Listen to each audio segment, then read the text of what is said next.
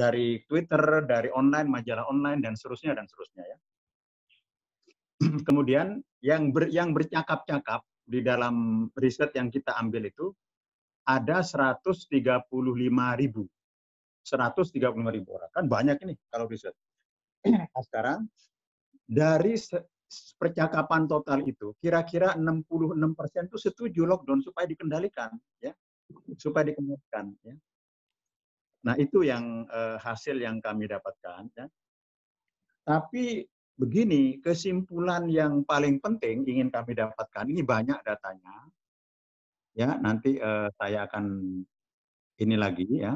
Kesimpulannya apa? Saya ingin menyampaikan kesimpulan penting ya. Kesimpulannya itu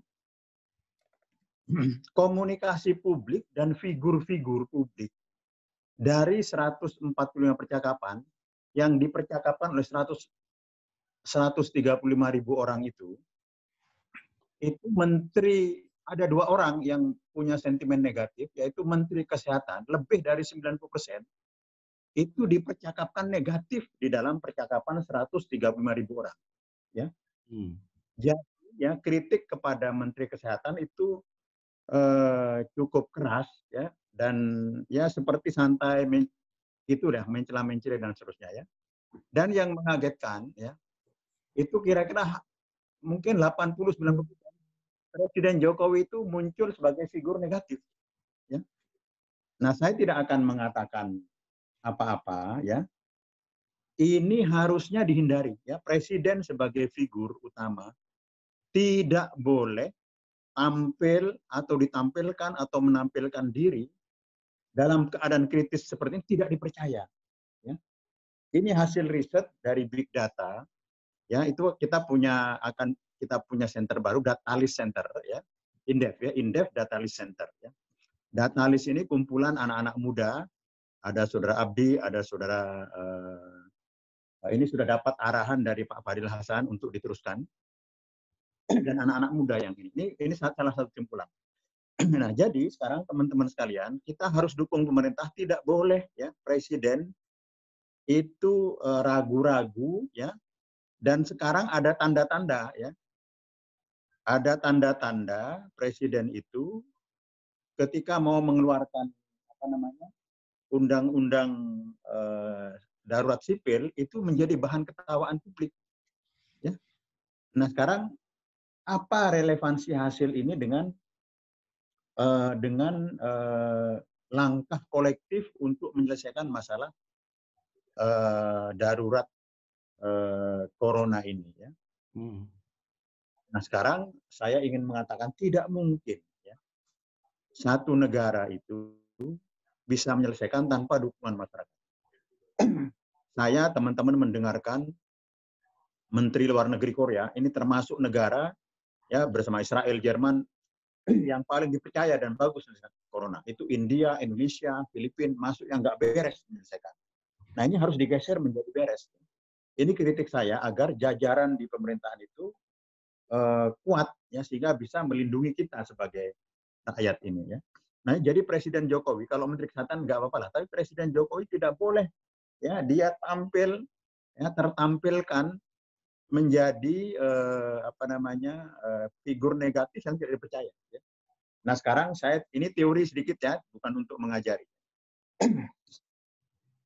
untuk bisa uh, melakukan penyelesaian ini diperlukan tindakan kolektif bersama. Ya. Dan tindakan kolektif itu ada dua syaratnya. Yang pertama jujur, transparan. Yang kedua dipercaya. Nah kalau ini eh, yang, yang ketiga tambahannya itu menampilkan keyakinan diri ya.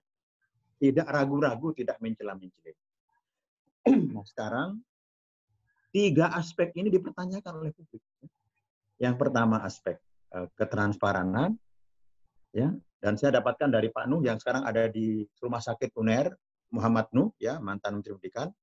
Data yang tampil sekarang itu ada data dua hari tiga hari yang lalu yang datang dari kabupaten masuk provinsi dan tidak boleh diumumkan. Nah, yang kedua adalah kejujuran.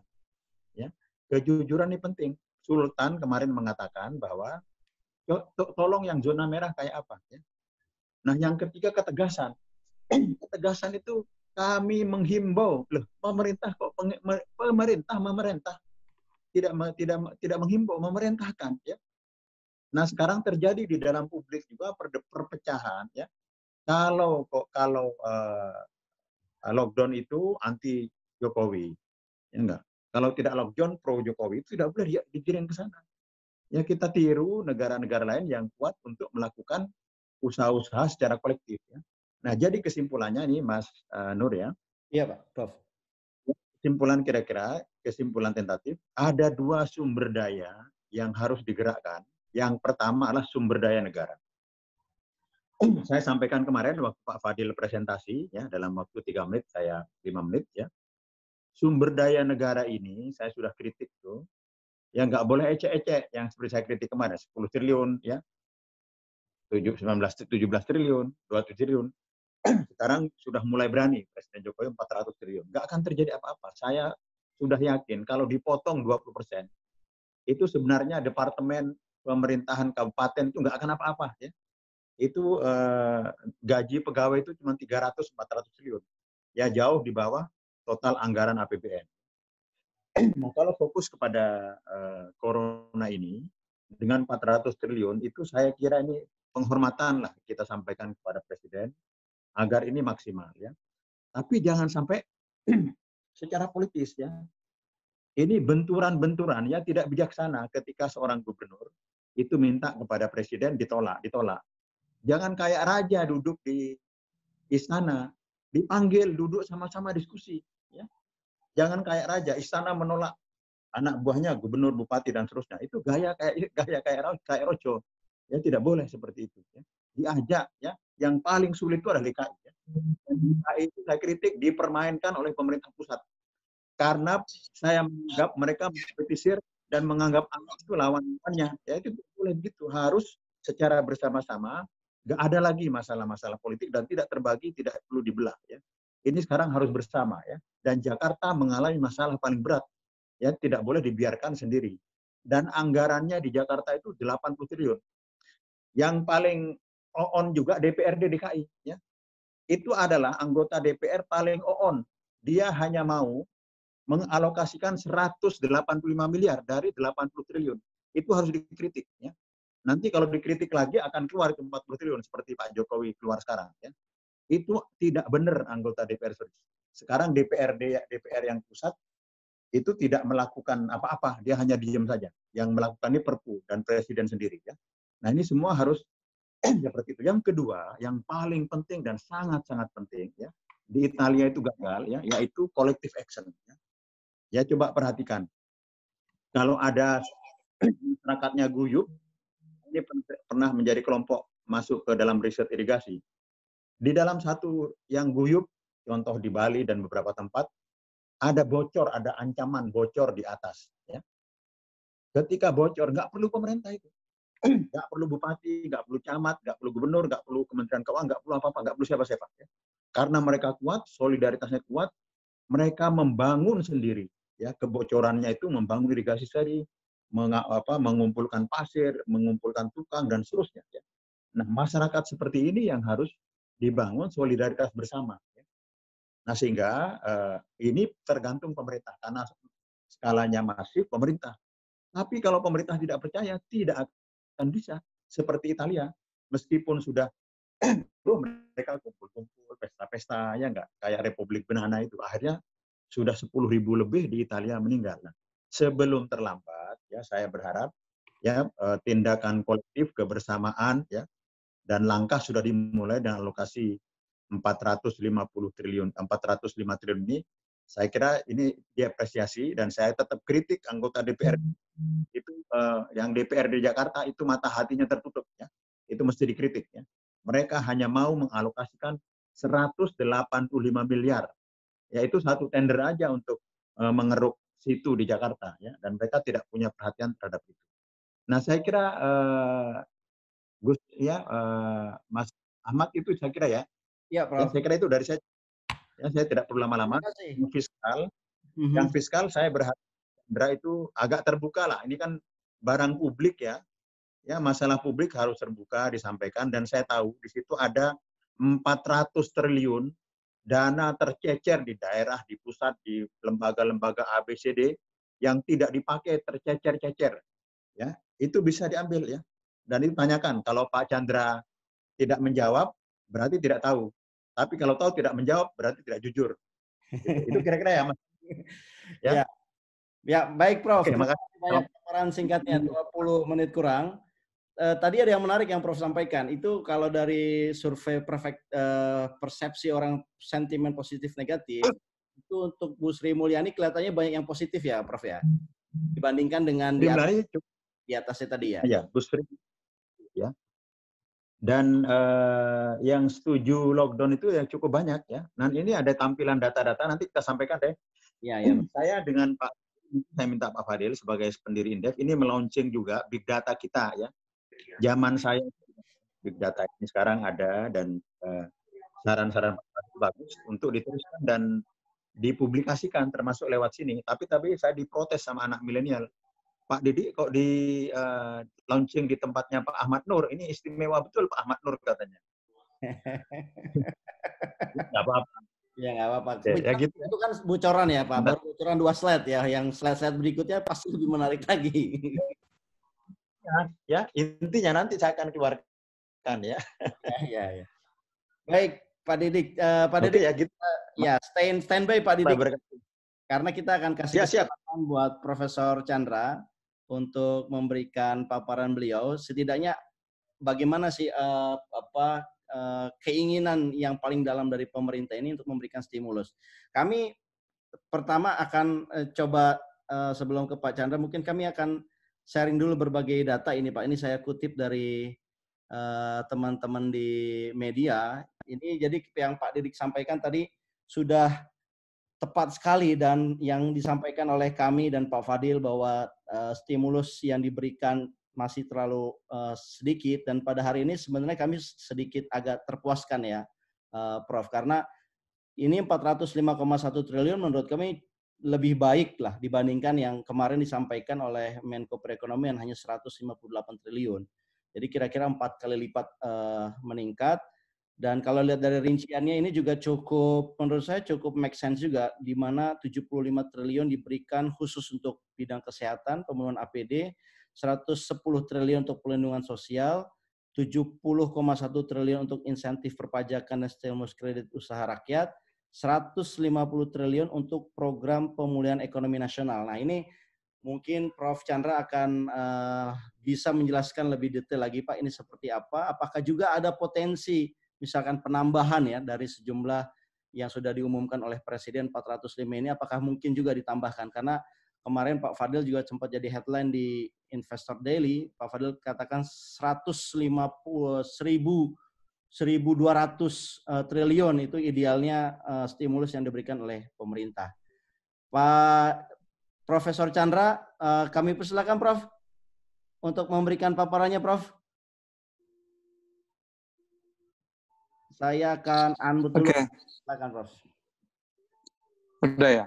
Ya, silakan. Oke, okay, assalamualaikum warahmatullahi wabarakatuh. Selamat malam, eh, teman-teman uh, semua, Pak Ahmad Nur, uh, Prof Didi, uh, Pak Fadil, dan teman-teman BSBI beberapa saya lihat itu juga dari Fakultas Ekonomi Brawijaya, serta teman-teman lain yang uh, mengikuti acara Ahmad Nur ini ya.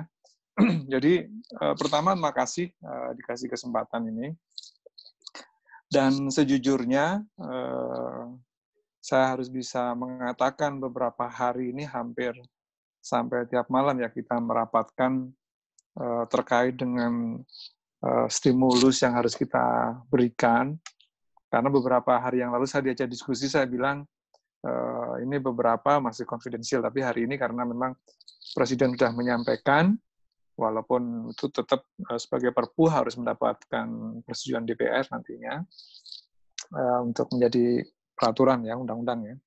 Uh, jadi begini, yang pertama seperti yang sebelumnya sudah saya sampaikan bahwa uh, kita tidak pernah tahu kapan berakhirnya COVID-19 ini gitu.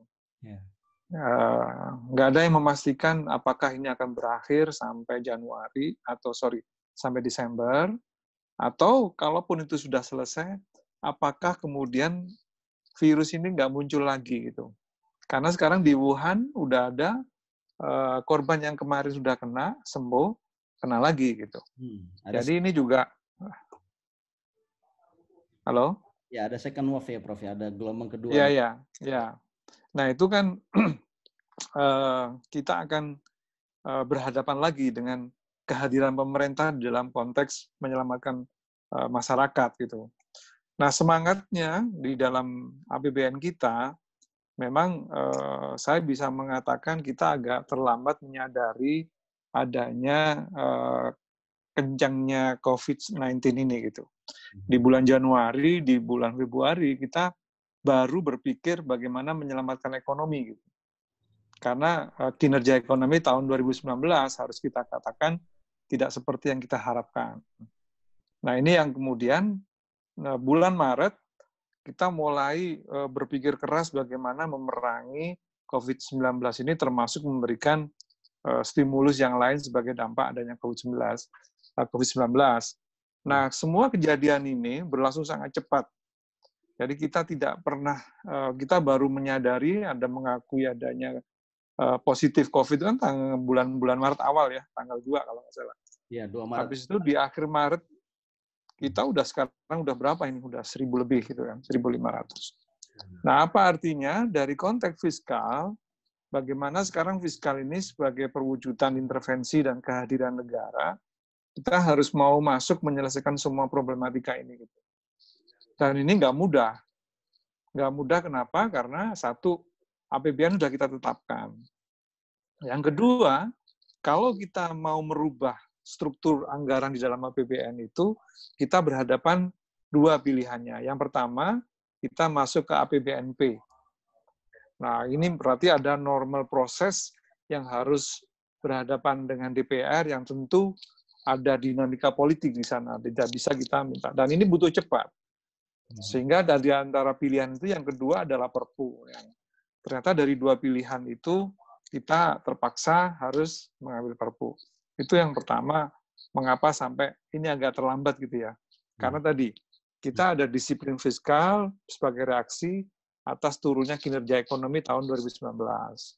Nah, setelah kita susun untuk merecovery 2019 itu dengan insentif macam-macam gitu kan, Nah, ternyata eh, pemerintah baru mengakui bahwa COVID-19 itu ada dan berbahaya di bulan Maret, sehingga kita baru merubah struktur itu di bulan-bulan Maret. Nah, ini sehingga eh, kita eh, pilihannya ke Perpu itu. Itu yang pertama. Yang kedua, dengan adanya perubahan Perpu ini, pasti insentif itu kan harus semakin banyak. Sehingga kalau kita lihat APBN itu strukturnya tiga, dari sisi revenue, kita bisa pastikan bahwa penerimaan kita anjlok. Karena kita habis untuk banyak insentif, kemudian memang kinerja sektor itu sudah turun, industri kita juga turun, sehingga pajak kita mungkin sekitar 10 sampai 15 persen harus turun. Itu yang pertama. Yang kedua, belanja kita itu tentu harus lebih untuk memproteksi ini, insentif itu, perlindungan masyarakat, dan macam-macam. Nah, dengan adanya lebih ini, pasti kita bisa pastikan, pasti defisitnya akan melebihi 3 persen. Nah, sekarang ternyata dengan adanya defisit yang lebih itu, dan kita kemudian dari apa yang kita lakukan mengambil dari sisi, sisi mana pun ya, itu ketemulah defisitnya sekitar 5,07 ya. Persen. Nah, dengan defisit itu, itu jelas uh, tidak sesuai dengan Undang-Undang Keuangan Negara. Maka solusi Perpu itu salah satunya adalah karena adanya pelanggaran itu. Nah, kita memang mintanya sebenarnya di awal kita katakan saja bahwa ya, di atas 3 persen, karena kita nggak tahu sampai berapa. Tetapi yang perlu kita garis bawahi, ini Perpu ini berlaku sampai kapan? Apakah sampai akhir tahun ini? Apakah sampai dua tahun lagi? Ini yang kita nggak tahu nih. Hmm. Jadi ini juga uh, perlu kita pikirkan bersama gitu. Tapi uh, faktor utamanya, anchor-nya itu adalah harus kita akui berapa lama sebenarnya COVID-19 ini gitu. Nah, problem yang ketiga atau faktor ketiga adalah financing-nya. Pembiayanya dari mana? Nah, pembiayaan yang uh, untuk menutupi pengeluaran yang nambah sekitar 405 triliun itu, yang pertama dari efisiensi. Jadi realokasi anggaran, kemudian uh, perjalanan dinas yang tidak terlalu uh, apa penting gitu ya, meeting-meeting dan honor-honor gitu. Nah itu total lumayan besar, itu hampir sekitar 190 triliunan dari efisiensi itu saja gitu di kementerian lembaga. Kemudian yang kedua dari sisa anggaran mungkin yang bisa kita ambil itu hampir sekitar 50. Nah, lainnya adalah dari uh, penerbitan obligasi. Nah, di sini juga perlu hati-hati juga. Karena kalau kita perhatikan sekarang harga SBN terus naik, toh.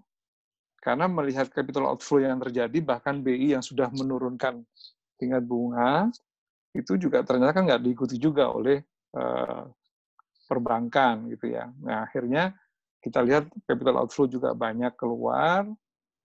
Nah, SBN muncul di fase yang seperti itu gitu.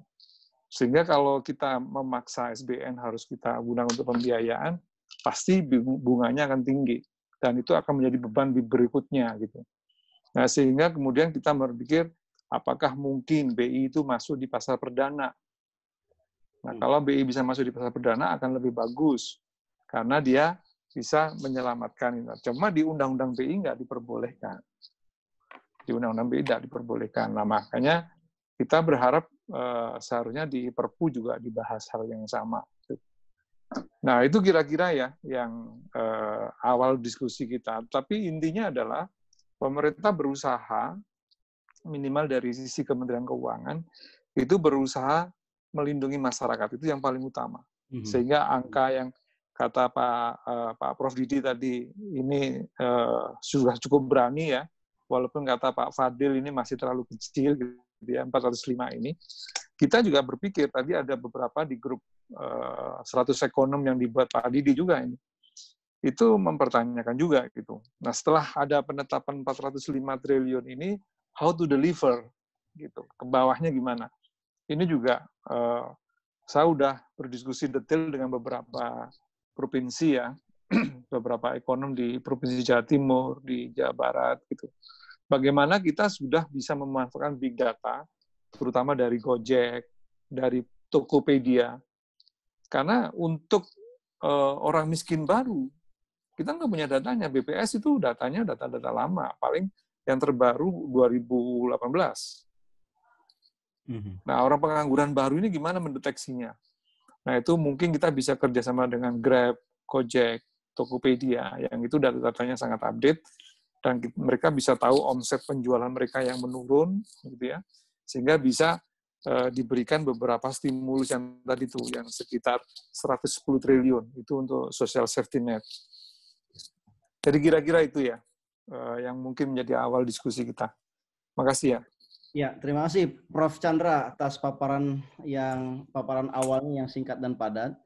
Ini uh, sebelum kita masuk ke sesi diskusi, teman-teman yang ingin bertanya silakan manfaatkan menu di chat itu ada raise hand. Kita memberikan kesempatan buat teman-teman bertanya secara langsung kepada narasumber. Mohon pertanyaannya ditujukan ke siapa dan pendalamannya apa ya. Jadi singkat saja biar kita kasih kesempatan teman-teman yang lain.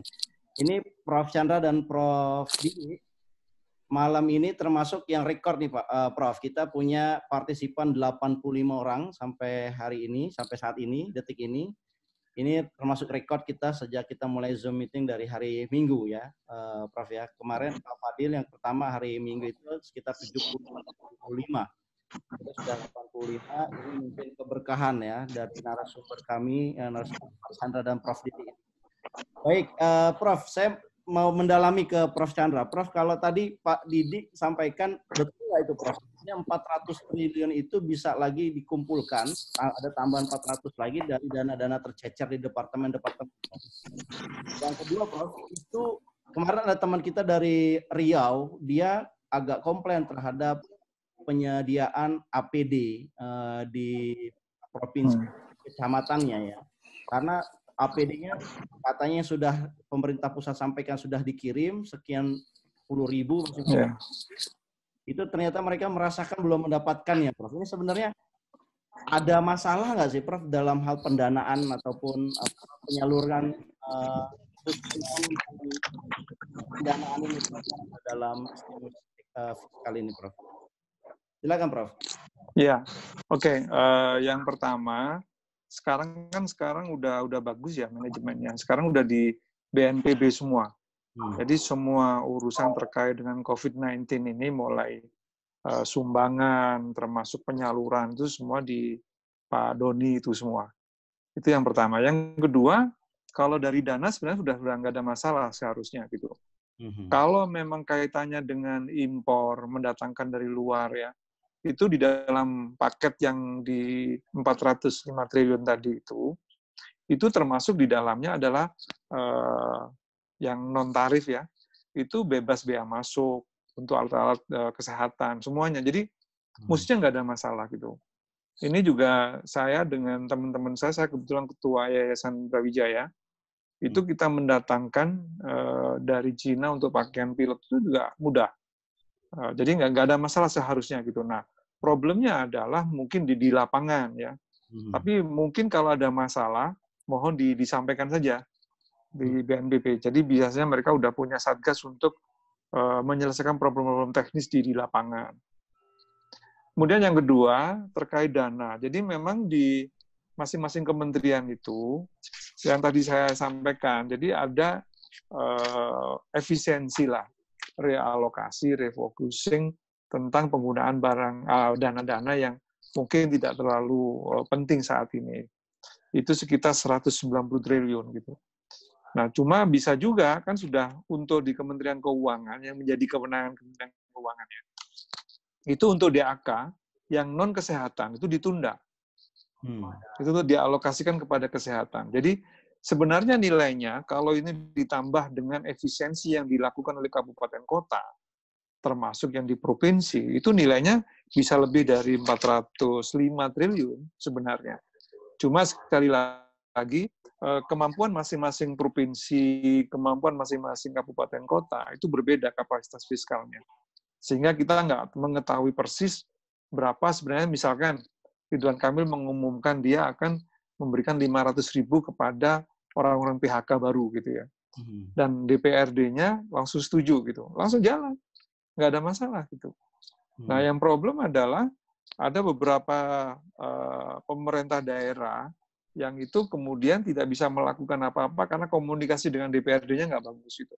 Padahal pemerintah dalam hal ini Kementerian Keuangan dan Kementerian Dalam Negeri termasuk ada Inpres itu membolehkan secara hukum untuk merelokasi anggaran dari mata anggaran ke sini ke yang sini gitu ya.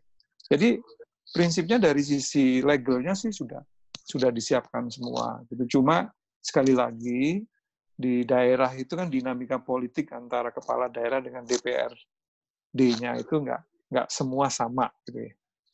Nah itu juga masalah baru. Tapi kalau kita jumlahkan secara anggaran, harusnya angkanya memang kalau ditotal dengan efisiensi yang dilakukan oleh daerah bisa di atas 405. Perkiraan saya itu bisa sampai 50 sampai 100 triliun itu yang ada di daerah. Hmm bisa 500,5 triliun ya Prof ya kira-kira ya. Ya bisa begitu ya, ya. Baik, uh, Prof Didik masih bersama kita Pak. Prof, saya ingin berikan kesempatan buat Pak uh, Fadil untuk ya. memberikan tambahan Pak atau mungkin pertanyaan. Silakan uh, Pak Fadil. Ya, terima kasih Pak Hidayat. Selamat malam Pak. Didik, Pak Chandra, dan teman-teman yang lain. Jadi saya ingin ber, uh, memberikan satu komentar, tapi kemudian uh, ada dua pertanyaan buat uh, Pak Chandra. Yang pertama ini kan uh, stimulus fiskal yang dilancar, yang di apa, yang disampaikan tadi oleh uh, Pak Presiden uh, itu uh, apa namanya merupakan uh, manifestasi gitu ya atau konsekuensi anggaran dari policy yang diambil, ya kan? Hmm.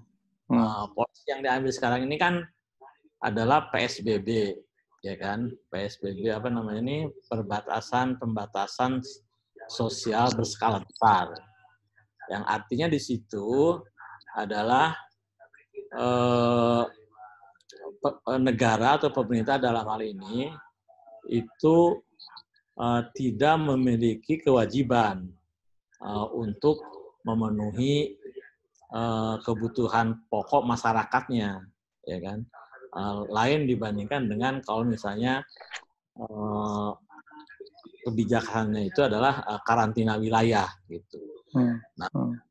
jadi makanya kemudian kita melihat bahwa uh, stimulus yang dilancarkan ini tidak uh, atau lebih rendah daripada yang kita uh, usulkan. Karena ketika kita mengusulkan uh, apa stimulus fiskal sebesar antara 600 sampai 1000 triliun itu itu adalah dengan asumsi bahwa pemerintah kemudian melakukan karantina wilayah walaupun dalam uh, skala yang terbatas misalnya yang zona merah saja yang di karantina wilayah uh, tersebut gitu jadi saya kira itu pertama yang harus kita uh, dudukan ininya apa namanya perspektifnya mengapa kemudian anggaran stimulusnya ini itu adalah sebesar 405 triliun itu. Tapi saya setuju dengan Pak Chandra tadi sebenarnya itu lebih besar uh, kalau misalnya diperhitungkan uh, dengan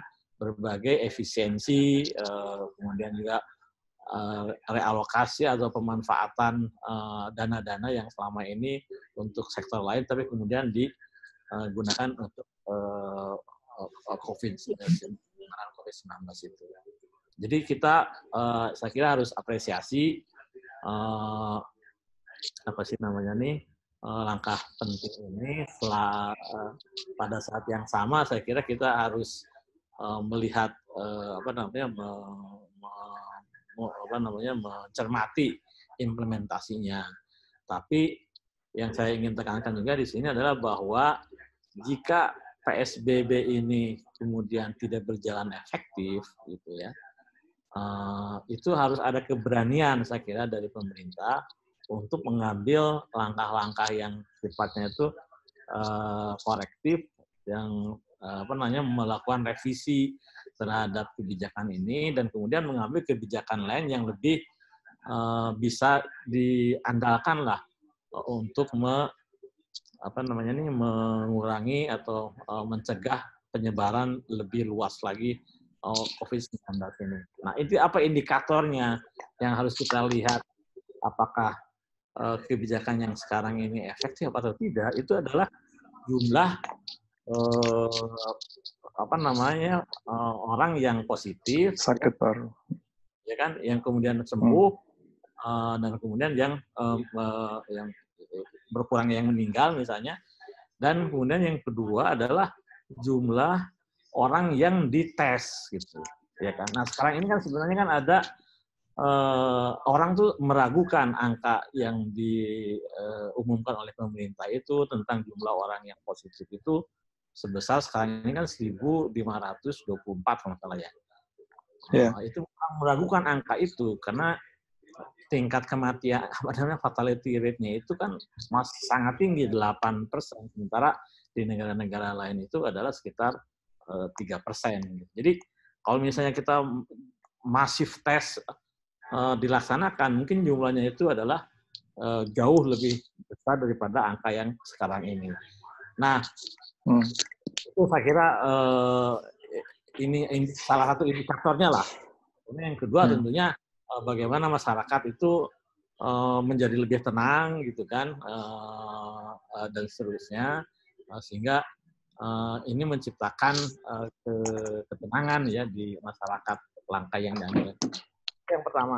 Kemudian yang kedua adalah uh, kalau boleh saya ingin bertanya ke Pak Chandra ini jadi dengan dengan tadi itu defisit atau tadi Pak Chandra mengatakan Perpu itu sampai sampai kapan berlaku. Nah, sekarang kira dalam konteks eh, ini ya tentang konteks defisit itu Perpu itu berlaku selama uh, untuk defisitnya itu tiga tahun, Pak. Ya, jadi Perpunya sekarang kan dinyatakan bahwa defisitnya itu di tahun 2020, 2021, 2022 itu izinkan untuk 5 persen. Jadi nanti di tahun 2021 eh, apa namanya eh, tidak usah lagi ada Perpu eh, yang menyatakan defisitnya itu harus eh, lima persen karena sudah diatur dalam Perpu yang sekarang ini gitu.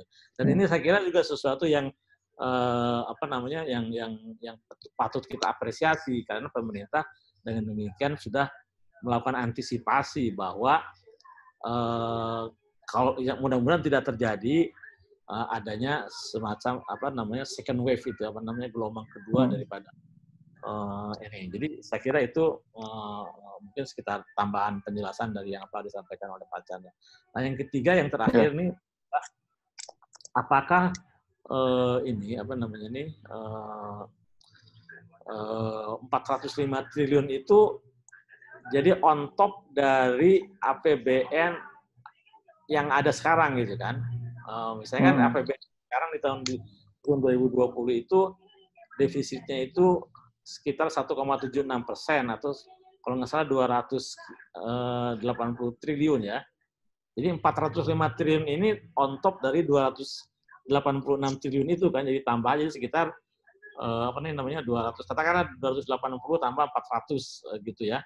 Itu iya. berarti yeah. uh, 680 triliun ya which is itu yeah. memang mungkin sekitar eh, lima persen daripada uh, eh, yeah. apa namanya uh, eh, PDB kita gitu ya ini mungkin yeah. untuk klarifikasi aja supaya ini dan yang paling terakhir sebagaimana juga tadi sampaikan ke Pak uh, apa dalam meeting kita di uh, di kantor Wapres ya lewat Zoom meeting itu juga yang kita khawatirkan nih Pak Chandra ya mungkin perlu diantisipasi itu adalah kepulangan TKI ya dari negara-negara lain, terutama dari Malaysia, yang yang sekarang ini kan jumlahnya kan jutaan ya TKI di Indonesia di Malaysia itu, yang dan banyak atau mungkin justru mayoritas itu adalah eh, ilegal, ya kan? Nah sekarang ini mereka ini stuck pak, ya kan? Di Malaysia itu kan ada MCO, movement apa gitu, yang pembatasan pergerakan itu. Nah mereka ini tidak bisa uh, pulang gitu kan tapi juga tidak bisa menerima uh, apa namanya kebutuhan pokoknya di di sana ya kan karena ilegal hmm. jadi tapi kalau misalnya mereka pulang evakuasi ke sini aja dipulangkan ke sini itu juga akan menjadi sumber kita kan menambah resiko gitu loh ya kan? Uh, nomor saya itu itu juga harus dipikirkan gimana uh, penyelesaiannya apa nam bagaimana cara mengatasi itu. Nah apa namanya ini bukan hanya di Malaysia tapi mungkin di negara-negara lain tuh pak uh, ya kan? Itu akan ya. masalah baru lah gitu kan nah nanti bisa datang ke sini mereka nggak punya pekerjaan juga kan itu ini itu juga juga harus uh, harus harus di, harus di ini lah dipikirkan lah uh, ininya apa namanya uh, Eh, solusinya gitu kan. Ya. sekarang ini mereka start dan tadi saya uh, kemarin malah uh, sudah di WhatsApp sama teman uh, di Malaysia yang kebetulan jadi anggota parlemen di sana itu mereka tuh prihatin sekali sama TKI TKI di Indonesia itu. Takutnya katanya ya mungkin agak sedikit didramatisasi oleh dia itu adalah takut kelaparan katanya Pak. Kasihan itu. Hmm. Pak Fadil, ya, karena, wajahnya Pak Fadil ketutupan Pak, itu hanya mulutnya. Oh iya iya iya. iya. ya apa namanya? Uh, ini apa namanya? Ya mereka nggak bisa kerja lagi karena memang nggak ada kerjaan di kebun apa di bangunan di macam-macam. Tapi juga mereka nggak mendapatkan itu apa jaminan dari pemerintah sana karena ilegal. Jadi mereka takutnya karena stuck jadi gitu loh. Selama ini katanya KBRI sama konsulat jenderal yang membantu, tapi sampai uh, berapa lama dia bisa kuat membantu itu dan jumlahnya kan mungkin nggak terlalu besar juga.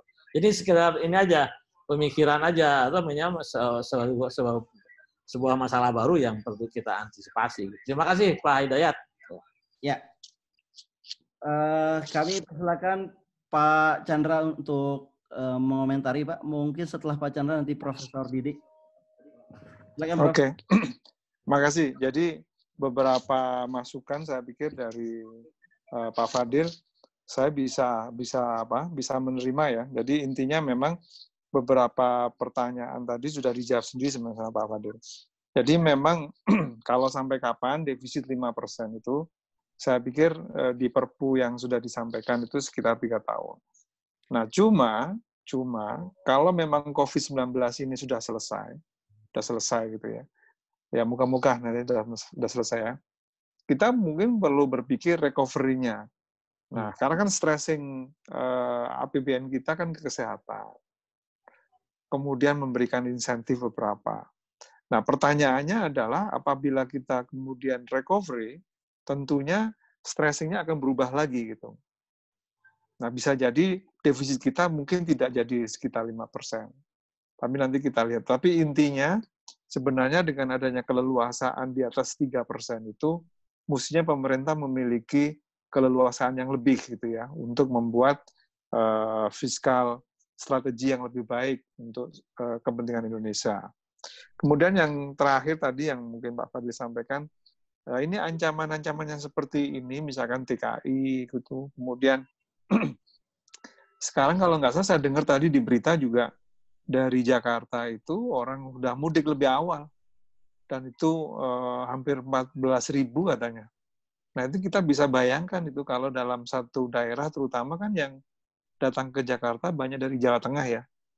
Eh, kapan hari itu Bu Sri Mulyani juga cerita bagaimana eh, Gubernur Jawa Tengah itu kesulitan ya, kesulitan untuk menangani eh, orang-orang Jawa Tengah yang baru pulang dari Jakarta karena mereka mudik lebih awal.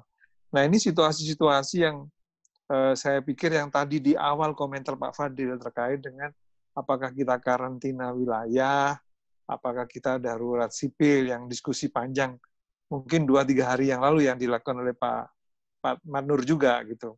Karena memang uh, konsekuensi dari mobility ini uh, harus ada hukum yang memang menangani ini gitu.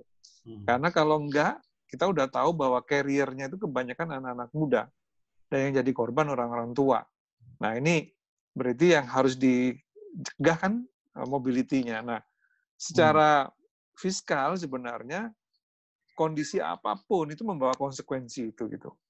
Tetapi yang kemarin mungkin dalam diskusinya Pak Edi Purnawan ya saya yang saya sampaikan juga bahwa ya. kita ini perlu menjaga dampak dari disrupsi dari sisi supply, bagaimana produksi juga harus tetap jalan, tetapi disrupsi demand juga kita amankan. Nah ini bukan pekerjaan yang mudah karena mungkin masalah data. Makanya saya sangat tertarik kalau teman-teman dari Indef mengembangkan big data gitu ya.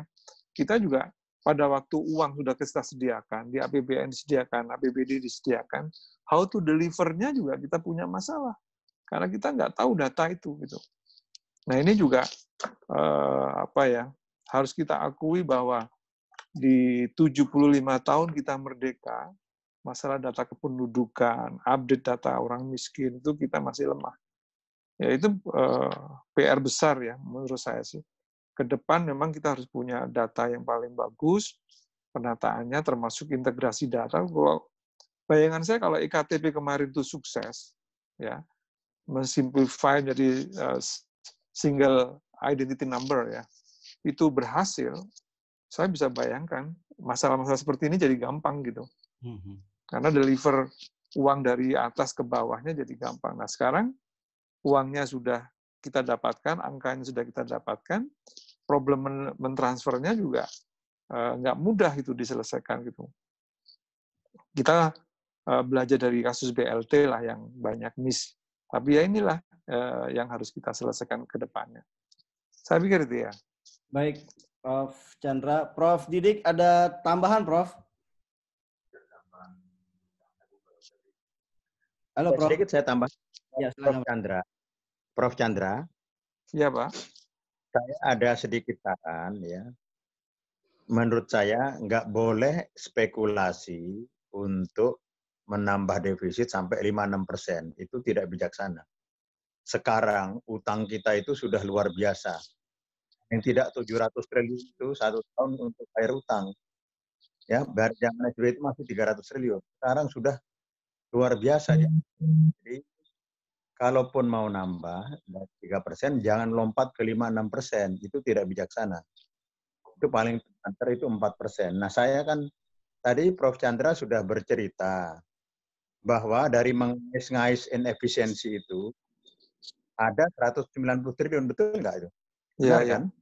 Iya. Itu saya sudah pengalaman di DPR ya dan meneliti satu-satu yang saya teliti itu ribuan item. Banyak itu amburadul. Kita punya masalah dengan uh, penggunaan BBN yang ngawur-ngawur.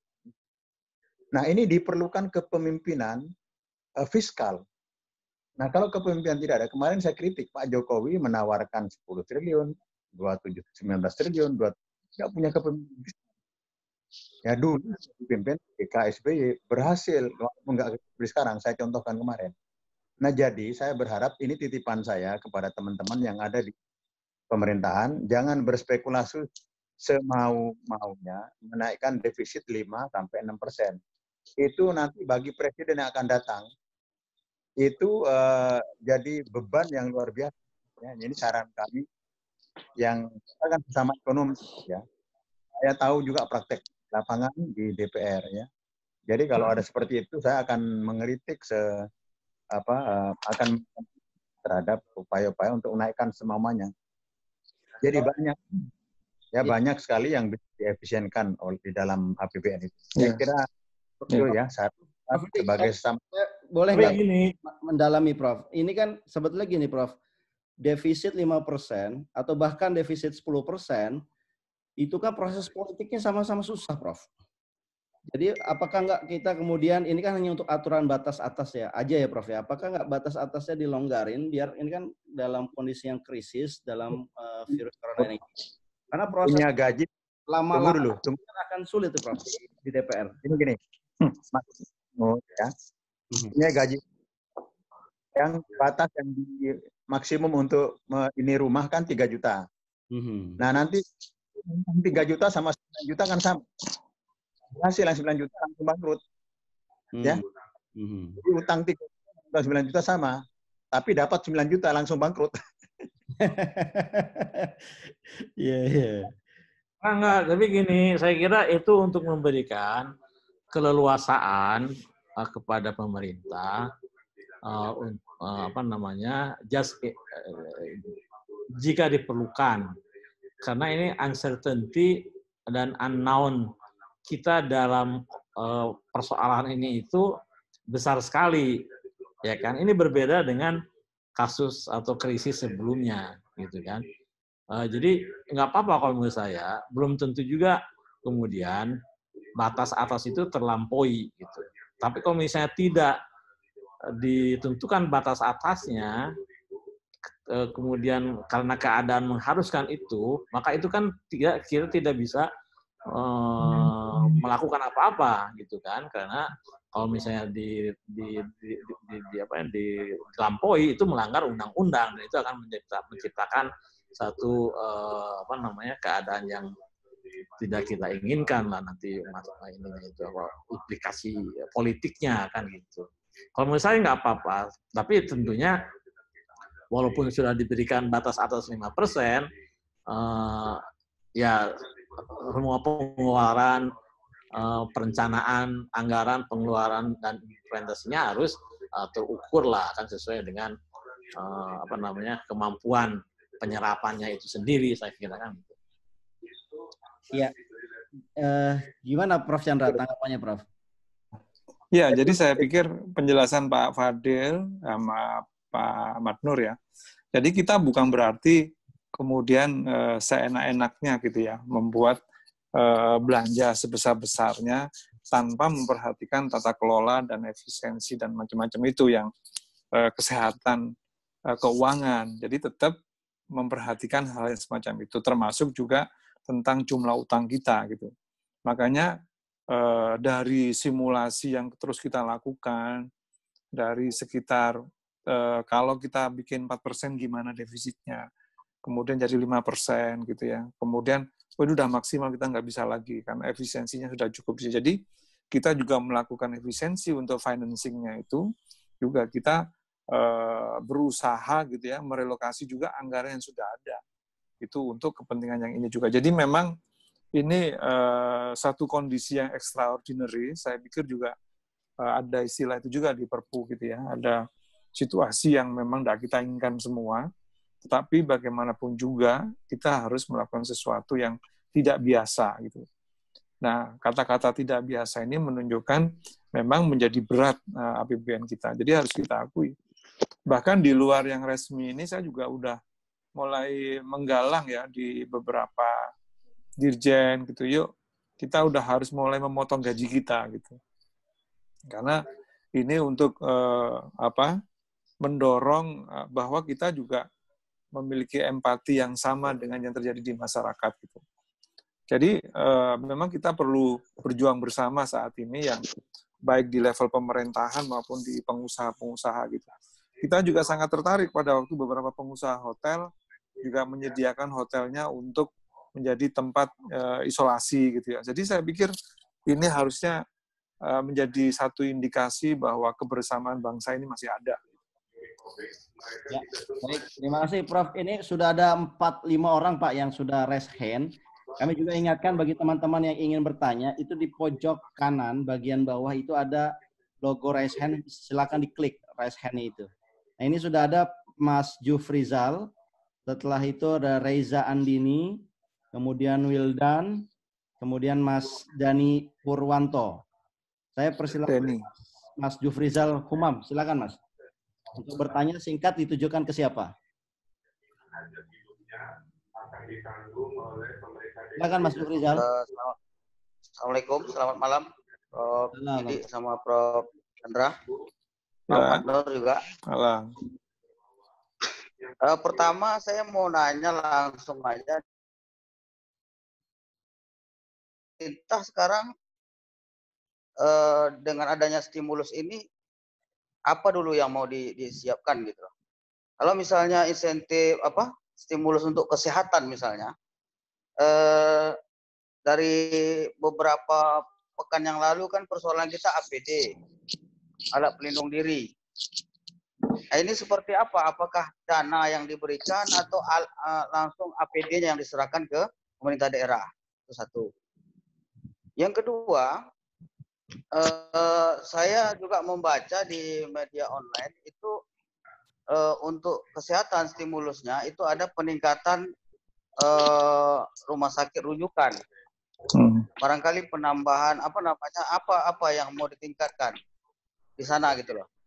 Nah kita di Pekanbaru kemarin di Riau itu gubernur sudah eh, meninjau dua rumah sakit, rumah sakit jiwa Tampan sama rumah sakit Madani di Pekanbaru.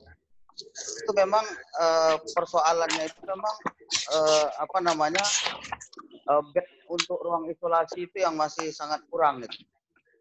Dan saya melihat eh, yang turun eh, apa namanya uh, dari Kementerian Kesehatan itu masih minim, Prof ya. Kalau untuk ya. APD itu baru tingkat Pekanbaru. Pekanbaru Rumah Sakit Arifin Ahmad, kemudian Rumah Sakit Umum Daerah di Inhil namanya Indragiri Hilir, kemudian Rumah Sakit Umum Daerah di Dumai. Baru tiga yang diberikan alat pelindung diri dari Kementerian kesehatan. Hmm. Kalau di kabupaten belum ada, di kabupaten lain belum ada. Kita kan 12 kabupaten kota. Puskesmas hmm. apa lagi? Tidak ada gitu. Jadi kemarin hmm. saya tanya kepada Prof uh, apa namanya Edi ya pada, pada diskusi semalam belum sampaikan mungkin di BPPD tapi persoalannya juga eh, BPPD juga belum ada menyampaikan uh, statement gitu hmm. bahwasanya itu sudah di, di ada di, di di gudang mereka jadi maksud saya kalau memang uh, sekarang dana itu ada ya kan? Yeah. dana itu sudah ada sudah ready. Uh, istilahnya apa apa yang akan diberikan terlebih dahulu? Yeah. uh, stimulus apa yang akan diberikan terlebih dahulu? Itu yang kedua. Kemudian yang ketiga eh, kritik saya adalah eh, saya melihat ketika disampaikan misalnya sekarang ada stimulus 405 triliun ini, uh, ini kan gegap gempita, masyarakat senang gitu lah ya. Cuma secara rinci, ya kan, setelah dirincikan, misalnya tadi ada uh, apa namanya menggratiskan uh, listrik, gaya listrik Baik. untuk 450 watt sama 900 PA kan. Hmm. Nah, itu itu kan kalau untuk di apa namanya untuk di daerah eh, apa? Untuk daerah Sumatera saya rasa udah sulit itu. Enggak ada itu. Hmm. Rata-rata udah di atas 900 Bang. Jadi memang agak tersentuh lagi kan gitu. Jadi ini kan jadi jadi apa namanya? tidak tidak menyenangkan lah bagi masyarakat gitu. Isunya nggak nggak enak gitu. Apalagi yang udah pakai token, rata-rata kita udah pakai token gitu. Walaupun dia apa namanya sebelumnya 900 pol, tapi dia sudah pakai token. Gitu. Hmm. Jadi kalau yang paling terasa saat ini adalah bantuan langsung tunai. Itu yang harus segera diberikan. Hmm. Di samping tadi APD, eh, penambahan ruang isolasi karena PDP-nya eh, pasien dalam uh, pengawasannya di Riau ini cukup tinggi gitu. Baik, baik. Jadi itu yang Mas. Kami rasa harus segera dijalankan apa? Di direalisasikan, Prof. Jadi poinnya Sementara itu Bang Maknur. Ya, yang dibutuhkan sebetulnya Prof kalau boleh disimpulkan yang sifatnya bantuan langsung dirasakan itu BLT. Kalau kalau saya lihat kan BLT-nya hanya nambah 50 ribu, Prof. Hanya 200 ribu untuk 10,5 juta ya. menerima. Jadi sebenarnya per bulan ya, Prof. Ya? Itu kurang signifikan ya untuk per bulan. Uh, untuk men, apa, meng, meng, memicu permintaan yang lebih dalam tuh kurang kurang membantu itu, Prof. Gimana, Prof? Sebenarnya Bang Maknor, hmm. kalau untuk di Riau itu ada beberapa kabupaten kota yang angkanya bantuannya sudah cukup besar, kayak Bengkalis 300 miliar satu kabupaten. Hmm. Karena memang daerah kaya lah, kayak sumber daya alam kan. Siak itu sekitar eh, 86 miliar. Untuk BLT. Provinsi 160 miliar. Itu Tapi eh, eh, jumlah bantuannya itu jumlah bantuannya itu belum di, disampaikan gitu berapa gitu. Hmm. Nah ini yang kadang-kadang masyarakat yang sedang lapar ini kan jadi resah dia. Jadi kan dia bertanya berapa untuk kami gitu loh. Ya, ya. Nah, ini maksudnya pemerintah pusat juga harus menjelaskan apa Bang Maknur. Ya, ya. Supaya masyarakat nih tenang gitu, mereka berada di di rumah di karantina gitu. Demikian Bang Maknur. Ya, cukup jelas. Silakan, Prof. Oke, okay, ya. Jadi uh, ini yang pertama untuk uh, kesehatan ya. Jadi APD itu nanti barangnya yang akan dikirim ke kabupaten kota. Nah, mengenai jumlah dan ini nanti data-datanya dari kabupaten kota. Jadi tidak diberikan uang, tapi diberikan barang melalui Kementerian Kesehatan. Hmm. Jadi pengadaannya adalah di Kementerian Kesehatan, jadi tidak di Kementerian Keuangan. Yang kedua, termasuk rumah sakit di daftar itu ada kalau nggak salah. Prof. Ini ada gangguan. Bukan ini. Ya, silakan, Prof.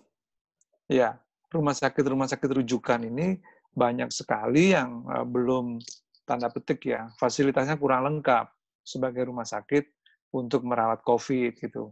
Nah kekurangannya ini yang kemudian uh, diproses dan ini memang uh, bukan perkara yang mudah ya karena karena di pemerintahan itu kan kita ribet sendiri dengan aturan yang kita bikin termasuk pengadaannya harus begini dan macam-macam dan orang semua uh, masih takut ya walaupun ini tujuannya baik kalau prosedurnya salah dalam pengadaan mungkin jadi masalah. Nah itu kira-kira itu jadi rumah sakit rujukannya itu yang menentukan itu Kementerian Kesehatan. Nah, nanti pengadaannya melalui Kementerian Kesehatan, rumah sakit yang tadi disampaikan kurang A, kurang B itu nanti diadakan melalui eh, dana yang sudah disalurkan melalui Kementerian Kesehatan. Ya. Kemudian BLT itu juga sama. Jadi BLT itu nanti dari Kementerian Sosial yang akan menyalurkan. Jadi, eh, nah yang mungkin jadi ini kan 200 ribu mungkin tidak apa ya tidak uh, tidak nendang gitu, tidak nendang gitu. Mm-hmm. Tapi ya memang kemampuan kita masih sebesar itu gitu. Jadi ya moga-moga uh, daerah itu bisa berinisiasi karena dana desa itu juga diarahkan bisa untuk uh, COVID-19 juga. Jadi dana desa kan sudah mulai ditransfer bulan Januari. Saya dengar juga ada beberapa desa di beberapa provinsi itu yang sudah memberikan warganya dan dikasih 50 ribu gitu ya. Dan itu bisa juga kan ditambahkan dari yang dapat dari BLT yang dari pemerintah pusat. Jadi ini memang yang tadi saya sampaikan di awal, kita ini belum tahu berapa sebenarnya eh, komitmen pemerintah kabupaten kota dan provinsi untuk menyediakan dana. Sehingga harusnya nilai 405 itu bisa-bisa lebih dari itu gitu. Yang saya perkirakan tadi mungkin bisa di atas 100 triliun yang diefisienkan dari kabupaten kota dan provinsi. Kira-kira itu ya, Nang. Iya, iya, Prof. Terima kasih, Prof. Prof. Didi, mungkin ada komentar, Prof. Silakan, Prof. Lanjut, lanjut, lanjut pertanyaan. Lanjut, oke. Okay. Saya persilakan Mbak Raiza Andini.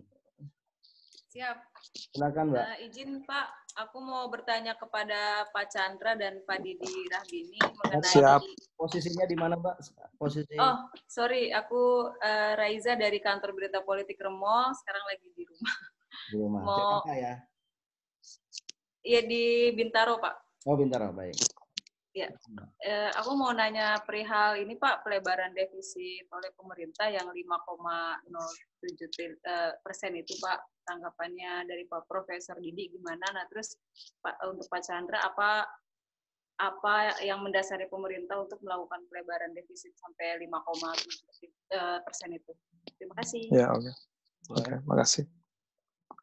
Silakan uh, Prof. Didi, tunjukkan ke Prof. Didi dulu tanggapannya Prof terhadap pelebaran defisit Prof. Begini ya, uh,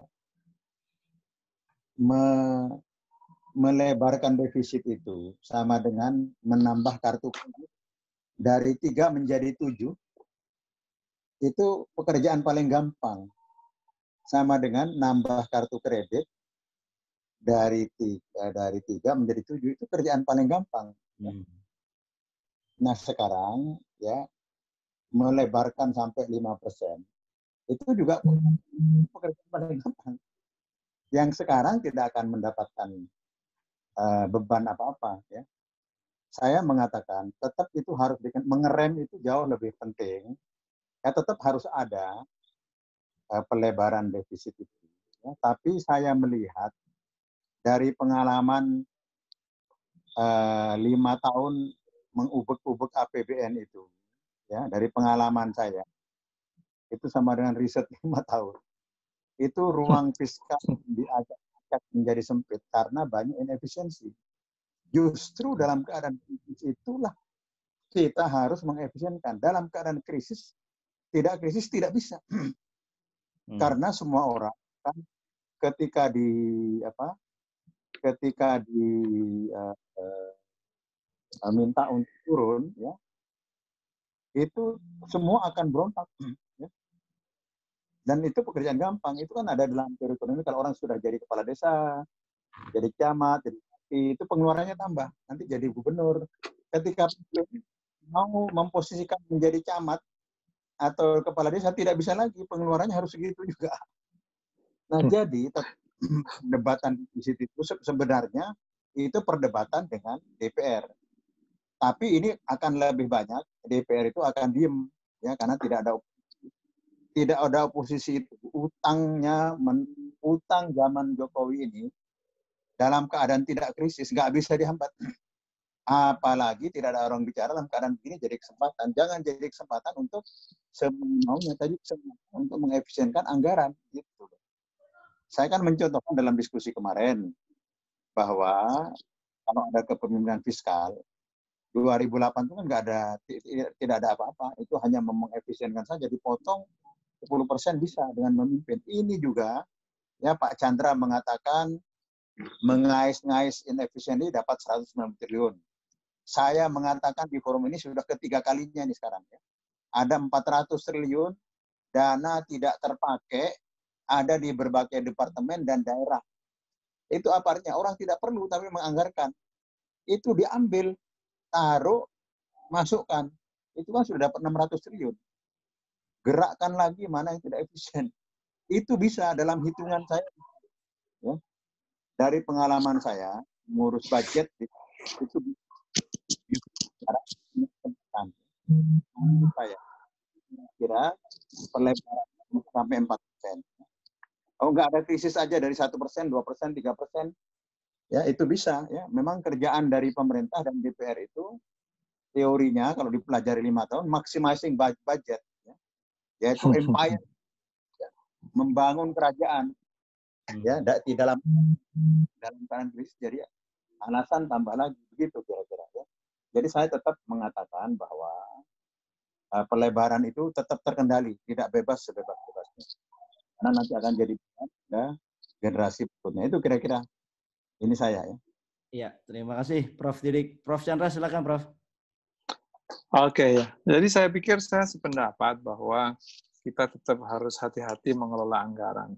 Jadi bukan berarti kalaupun diperbolehkan secara legal oleh Perpu, kemudian kita semau maunya gitu ya. Itu yang pertama. Jadi prinsip itu tetap uh, kita terapkan lah. Saya pikir uh, dengan adanya pengawasan dari BPK, KPK ini sekarang kan uh, nggak bisa lagi kita semena-mena membuat anggaran semau kita sendiri. Itu yang pertama. Jadi tetap kita harus tetap prudent gitu. Kemudian yang kedua, kita memang tidak bisa terutama Eh, sebenarnya diskusi ini pernah kita lakukan di kantor BSBI ya. Apakah kita mau melebarkan di atas tiga atau tetap? Karena pada saat itu, pada saat kita ngomong bahwa dalam teori otonomi daerah, dalam membangun nasional itu dari daerah, harusnya spending di daerah lebih besar, kan gitu ya. Tetapi dalam prakteknya, eh, teman-teman yang menentang meningkat dari tiga persen itu, ini daerah dikasih dana besar, takutnya malah menjadi silpa yang besar. Karena dana uang di perbankan itu juga terus naik. Jadi daerah kalau dikasih dana besar, karena mungkin kapasitasnya, sehingga duitnya banyak disimpan di perbankan, tidak langsung spending gitu. Nah ini juga hambatan. Nah, tapi situasi normal semacam itulah. Nah sekarang situasinya memang tidak normal di mana sebagian besar dana yang kita berikan itu selain untuk tambahan on top dari anggaran yang sudah ada di kementerian, terutama Kementerian Kesehatan, kita juga menambah untuk pemulihan dan daya tahan ekonomi atau bagian uh, social safety net. Gitu. Jadi jaringan masyarakat untuk kita amankan dengan BLT, dengan uh, rumah tangga, terus kartu prakerja juga untuk para PHK baru gitu ya, yang masih muda. Jadi ini memang uh, tantangan uh, bagi kita semua dan saya harus bisa katakan, ya memang dengan defisit 5% saya setuju tadi itu memang berat. Kita berat gitu. Tapi harapannya moga-moga ya COVID ini secepatnya selesai. Moga-moga juga kita tahun depan tidak lagi uh, defisit di atas tiga, uh, tiga lagi gitu. Amin. Mungkin kita sudah bisa disiplin gitu. Saya pikir itu. Satu lagi dong, boleh nggak satu lagi? Boleh, Soal ini Pak, okay. yang Ya, ya, yang gitu. itu yang apa pinjaman di World Bank itu yang 300 juta US dollar Pak. Itu sebenarnya buat apa sih Pak awalnya Pak katanya infonya dapat uh, untuk bailout di Wasraya apa betul Pak? Oh enggak, itu memang untuk PKH itu kalau nggak salah. Oh, oke. Okay. Untuk PKH. Jadi apa keluarga harapan ya. Yang itu hmm. Kemensos atau yang menjalankan kalau nggak salah. Jadi memang oh. yang dari World Bank itu diarahkan ke sana. Dan itu udah dealnya bukan karena COVID ini gitu. Jadi hmm. udah udah cukup lama mereka memang mendesain ke sana. Oke. Siap. Tugas yang, yang saya tahu ya, yang saya tahu. Tapi tugas saya sebenarnya saya tidak boleh ditanya fiskal. Kalau fiskal tanya Prof. Chandra. Tugas saya oh, adalah kalau Prof. Didi ya. itu ekonom politik ya. Ekonom dan politikus. politik harus dibangun Nah, karena itu saya sampaikan hasil riset big data, ya data list index, ya data list center index tadi, kepercayaan itu terutama data, nah dulu yeah. kocar, lalu ada juru bicara lebih bagus. Dulu siapa aja ngomong, ini ngomong, ini ngomong, yeah. kesehatan bekaruan. Setelah itu dibikin jubir. Mulai jubirnya, uh, mulai sudah teratur gitu. Tapi tetap saya yeah. sampaikan, bukan supaya kepada presiden ya presiden itu saya nggak tahu apa dari lawan politik atau apa ya Tapi buzzer-buzzer sudah hilang, tidak ada. Yang dalam riset kita buzzernya tidak ada.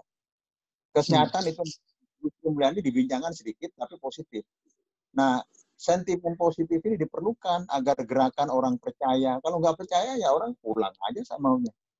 Makanya mereka iya. mangkal yeah. itu keluar lagi kata-kata darurat darurat sipil itu waktu perang ya nggak orang boleh diintelin yeah.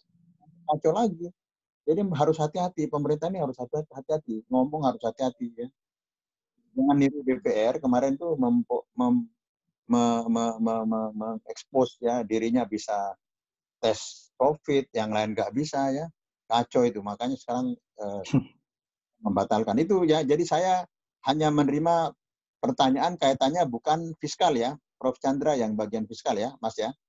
Oke, makasih. Ya, uh, kita sudah satu jam 23 menit uh, diskusi kita hari Sampai berapa lama, Nur? Kita rencananya sampai jam 22.30 Pak maksimal. Tapi kalau seandainya lebih cepat, Alhamdulillah jam 20. Ya, ya. Maybe sampai pukul 10 lah. Pukul 10 ya. Baik, Prof. Ya, ya. Prof kayaknya dari pagi lelah terus nih conference terus. Iya, iya, iya. Udah menghasilkan perpu itu udah capek. iya, iya, iya. Oh jadi gitu ya Prof ya. Iya. Baik, untuk iya, iya. kita udah exhausted ini. Ya, untuk relaksasi sebentar ini ada video 33 menit saya ingin berbagi buat sahabat semua. Ini videonya ada 33 detik. 33 detik ya. Mohon maaf, 33 detik. Ini saat uh, video uh, di, saya dapetin dari sosial media Uh, judulnya adalah jadi awalnya virus corona beginilah. Uh, ini sedikit pidato dari seorang uh, profesor. Tidak untuk mengecilkan seorang profesor, Prof. Mohon izin. Fine.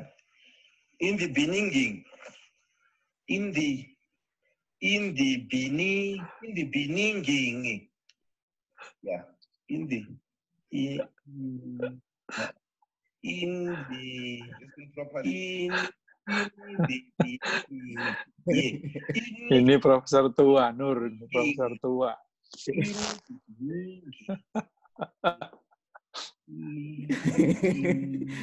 ini di ini ini di bininging. Baik, uh, mudah-mudahan video tadi cukup untuk merehatkan uh, urat-urat kita yang sedang. Mohon izin, saya persilakan Mas Wildan Uh, silakan Mas Wildan untuk memberikan pertanyaan, Mas. Ya, silakan Mas Wildan. Silakan. Halo. Ya, sudah saya unmute ini. Harusnya sudah ada suara. Ya, silakan, Mas. Oke. Udah ya.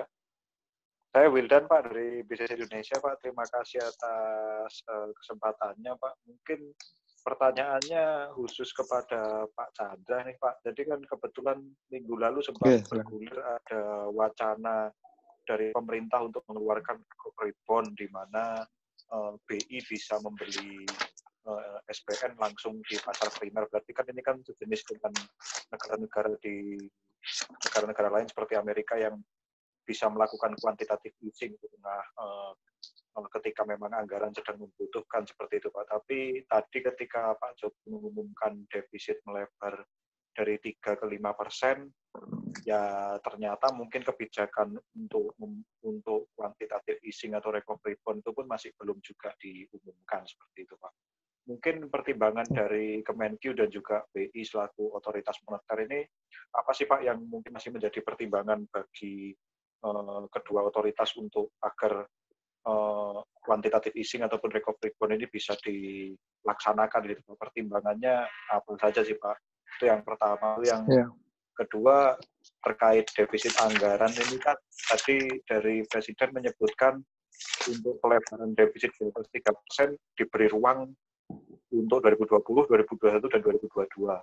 Ini dengan ini apakah mungkin pemerintah masih mengasumsikan bahwa 2021 ini eh, perekonomian masih belum bisa uh, recover sehingga mungkin stimulusnya masih perlu dilanjutkan pada 2021 seperti itu Pak. Untuk proyeksinya sendiri dari pemerintah seperti apa sih Pak? Soalnya kalau merujuk di datanya World Bank yang baru terbit kemarin itu mereka memproyeksi perekonomian Indonesia bisa tumbuh di angka 5,7 persen kalau nggak saya salah ingat itu kan lebih tinggi dari rata-rata selama lima tahun ke belakang gitu.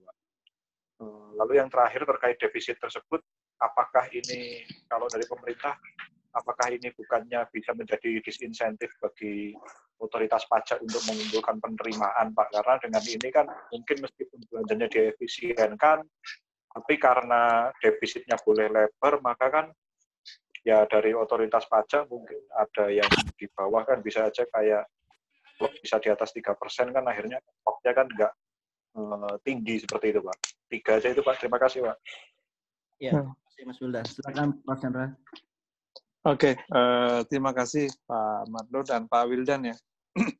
Jadi memang ya. uh, untuk yang uh, recovery bond untuk sebagai alternatif financing itu memang uh, diskusi kita masih belum selesai. Itu mungkin nanti ada bagian dari uh, eh, KSSK ya yang akan membahas secara detail apakah nanti kemudian uh, masuk dalam perpu lainnya.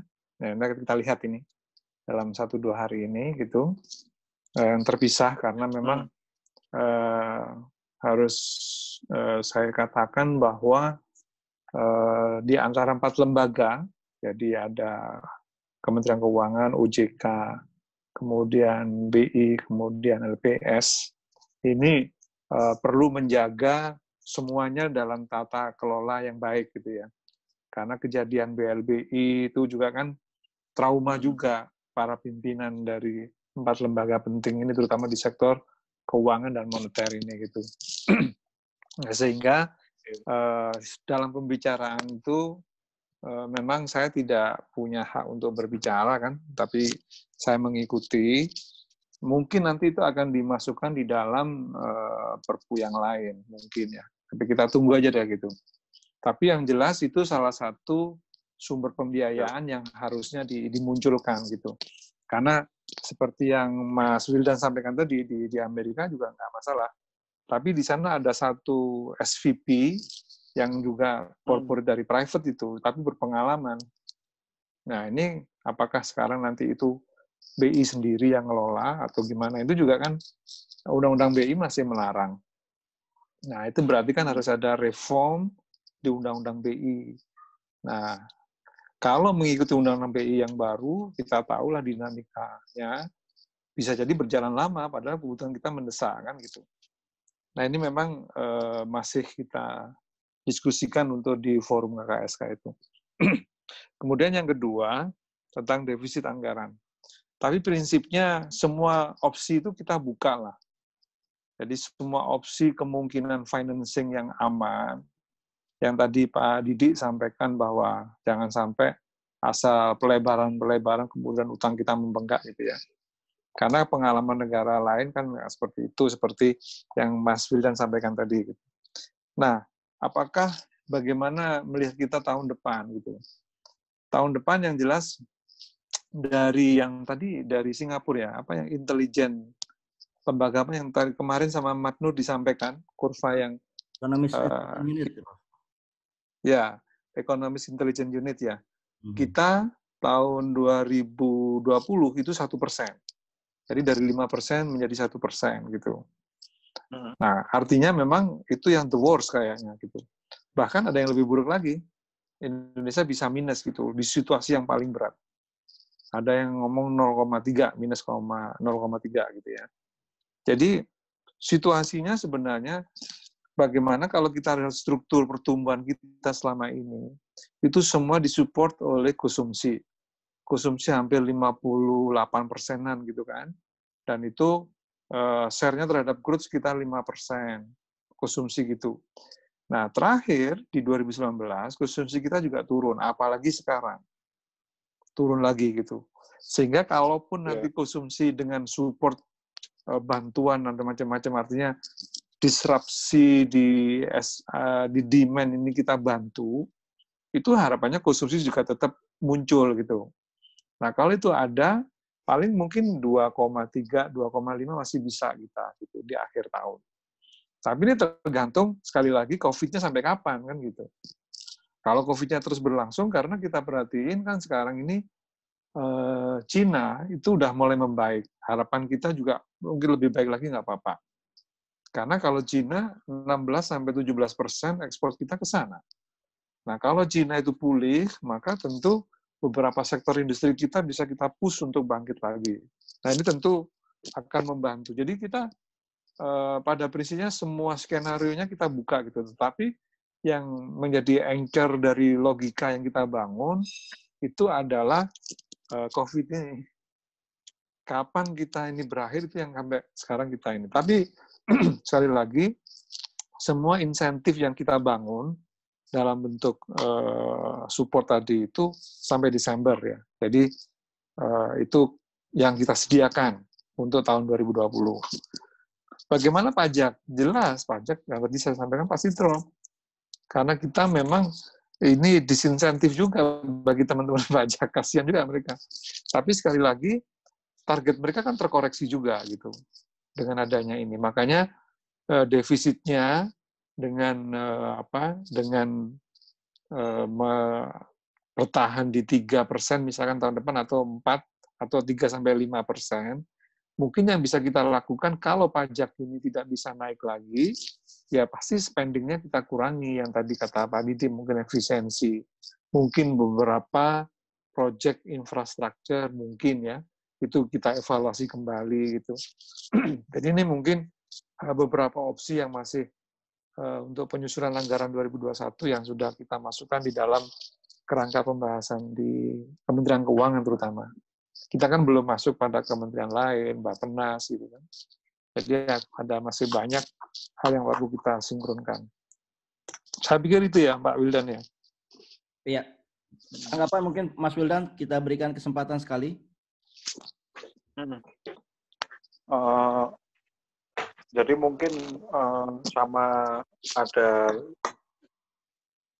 halo?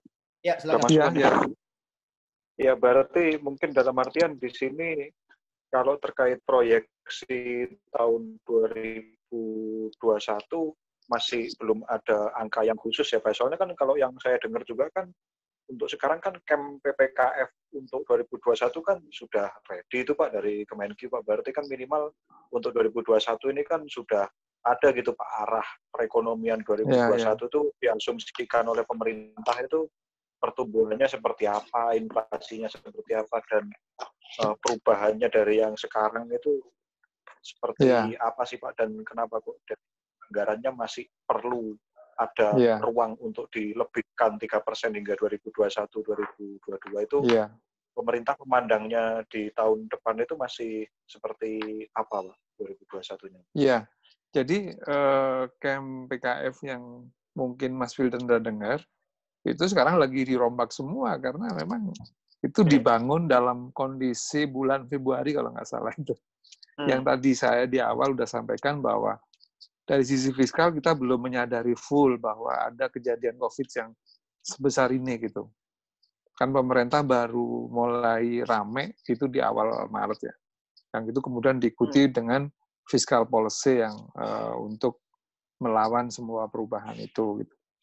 Nah, termasuk MPKF itu. Jadi ini lagi di, dirombak semua kan. termasuk uh, ya oh, iya. macam-macam lah yang kita jadi saya nggak bisa cerita ini itu confidential. Tapi intinya hmm. bahwa yang Mas Wildan dengar tentang KMPKF itu sedang kita garap menyesuaikan dengan perubahan yang ada. Nah, bahasanya yang pas gitu kali ya. Hmm. baik terima kasih hmm. Pak Wildan. Terima kasih Pak Prof. Chandra. Kami buka kesempatan buat Mas Dani uh, Purwanto dan kami juga ingatkan bagi teman-teman yang ingin uh, bertanya silakan klik di layar Anda di pojok kanan bawah itu ada logo raise hand. Silakan Mas Denny Apurwanto uh, sebutkan dari mana Mas? Dari media atau asal tempat tinggalnya? Silakan Mas. Baik, terima kasih uh, Mas Ahmad. Ya. Uh, Prof Chandra, uh, Prof Didi, ya. Fadil, Assalamualaikum. Oh, uh, Denny, dari Gotingan, dari kampusnya Pak Chandra. Oh, ini dari Jerman. Mas Dani, sehat ya? Alhamdulillah sehat. Sudah lockdown eh, 16 hari, hari ke-16 oh, di Jerman. Ya, ya, ya. Ya, eh, Gimana saya, Mas Dani? Eh, apa Presiden Jokowi kan baru menyampaikan ada beberapa bantuan terkait uh, uh, apa kasus COVID ini untuk masyarakat golongan uh, bawah gitu ya menengah ke bawah termasuk di antaranya alokasinya ke enam enam program ya di antaranya PKH kartu sembako kartu pekerja hmm. sampai hmm. kepada uh, masalah bantuan pembayaran kredit gitu ya. Hmm. Nah, cuman dari dari enam poin program ini kan eh, kami melihatnya masih fokusnya kepada dampak ekonomi dari COVID itu sendiri gitu. Sementara yang seperti menjadi concern Mas Yufrisal di Pekanbaru tadi, eh, yang banyak menjadi pertanyaan juga sebenarnya dari 405 triliun itu Eh, seberapa besar eh, akan dialokasikan untuk penanganan COVID-nya itu sendiri gitu. Jadi untuk penanganan hmm. kasus-kasus COVID-nya itu sendiri termasuk eh, menjawab masalah kelangkaan APD, masalah tenaga kesehatan, masalah sarana dan prasarana kesehatan yang mungkin urgensinya jauh lebih tinggi gitu ya.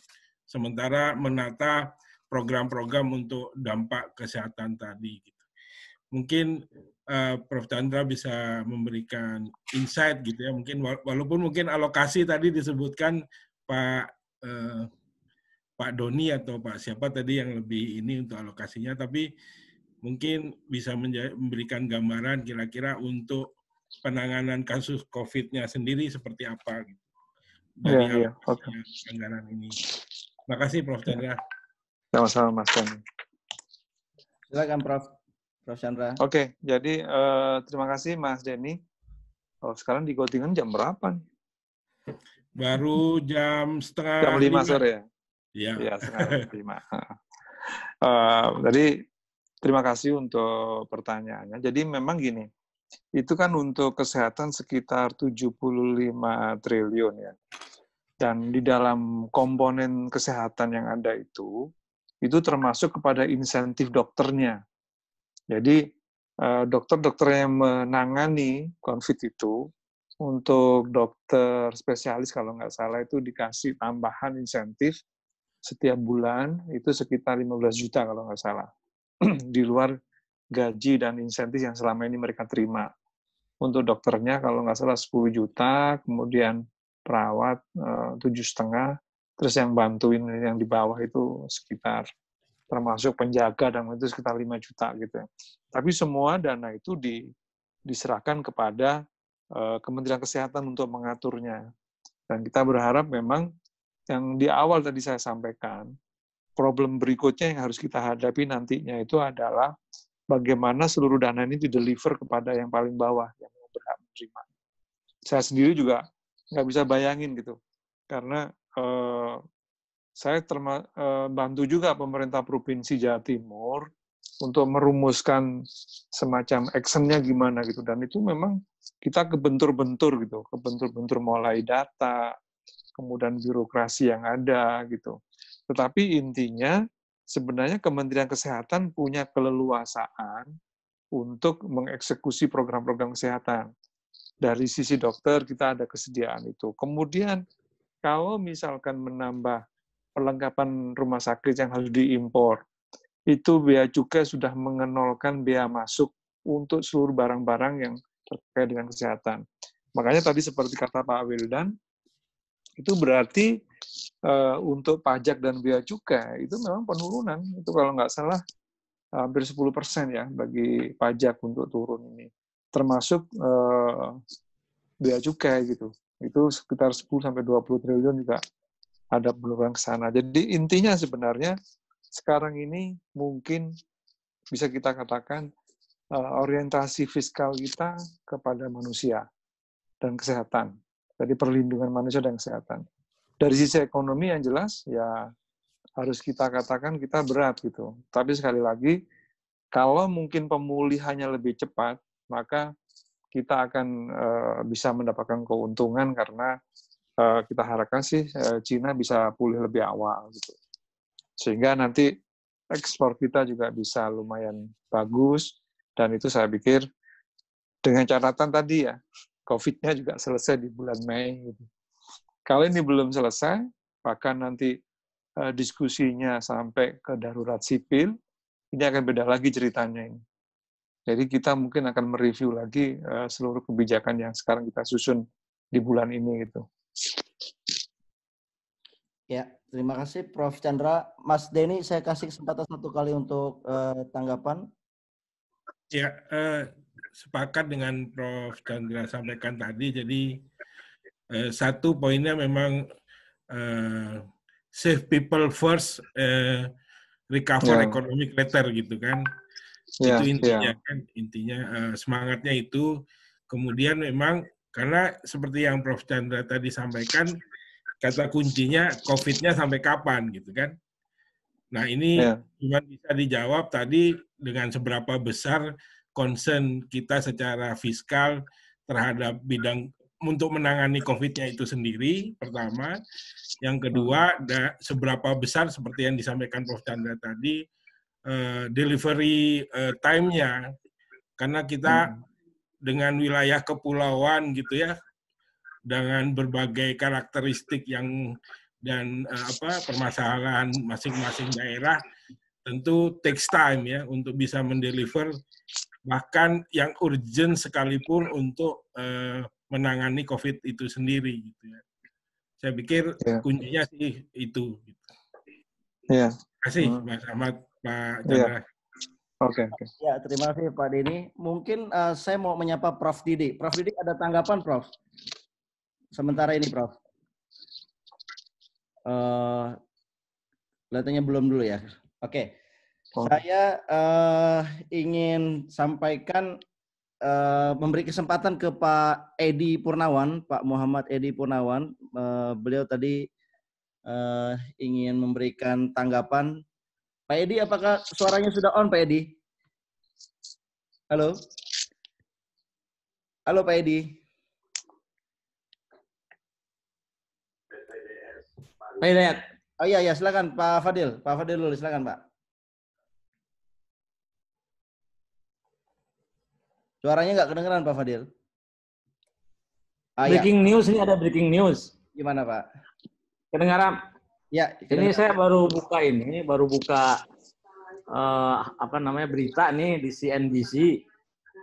Uh, eh, itu ternyata BI sudah eh DPR menyetujui uh, pemerintah eh BI membeli uh, Sun uh, yang dikeluarkan oleh pemerintah di pasar primer. Hmm. Hmm. Nah, jadi di sini disebutkan DPR restui BI beli buat beli recovery bond di pasar primer. Itu jadi uh, saya kira uh, paling aman. Uh, itu paling aman lah gitu kan dan ya. tapi mungkin kita tahu belum tahu ininya apa namanya uh, uh, uh, kuponnya berapa besar gitu ya. Jadi kalau misalnya ini kan misalnya bisa diatur itu mungkin lima ya. persen atau berapa gitu kan. Jadi ini ini ada informasi itu. Uh, tadi saya sebenarnya mau ngomong jadi lupa lagi maklum ya silakan terus aja tuh. Ya, ya, ya. Makasih Pak Hidayat. Iya iya Pak. semoga moga udah ingat tadi Pak pertanyaannya. Ya, uh, saya kembali ke Pak Edi. Pak Edi jadi ingin bertanya Pak Edi. Nah, mungkin koneksi internetnya ini yang jadi masalah. Pak, ini ada pertanyaan juga di grup chatting. Tadi uh, dari mungkin karena masalah internet bermasalah, dia tulis nih Pak dari Pak Andi Junianto. Jika pembatasan sosial berskala besar diberlakukan dalam jangka waktu yang tidak tetap, maka resikonya ialah terjadi diskoneksi fisik berskala luas di Indonesia. Dalam pemahaman saya, diskoneksi fisik ini akan mempengaruhi pola tata ekonomi masyarakat, bahkan pemerintah dalam skala besar produksi di sektor industri juga akan terpengaruh, utamanya manufaktur. Dengan demikian, ketahanan nasional akan mengalami gangguan signifikan. Pertanyaan saya, bagaimana penyediaan regulasi dari pemerintah yang digulirkan kepada masyarakat menjadi efektif sehingga kita aman dari ancaman jangka pendek dan jangka panjang yang akan muncul. Pertanyaan kepada Prof. Chandra dan Prof. Didi. Silakan, uh, mungkin Prof. Didi, Prof. Apakah menyimak Prof tadi pertanyaannya Prof?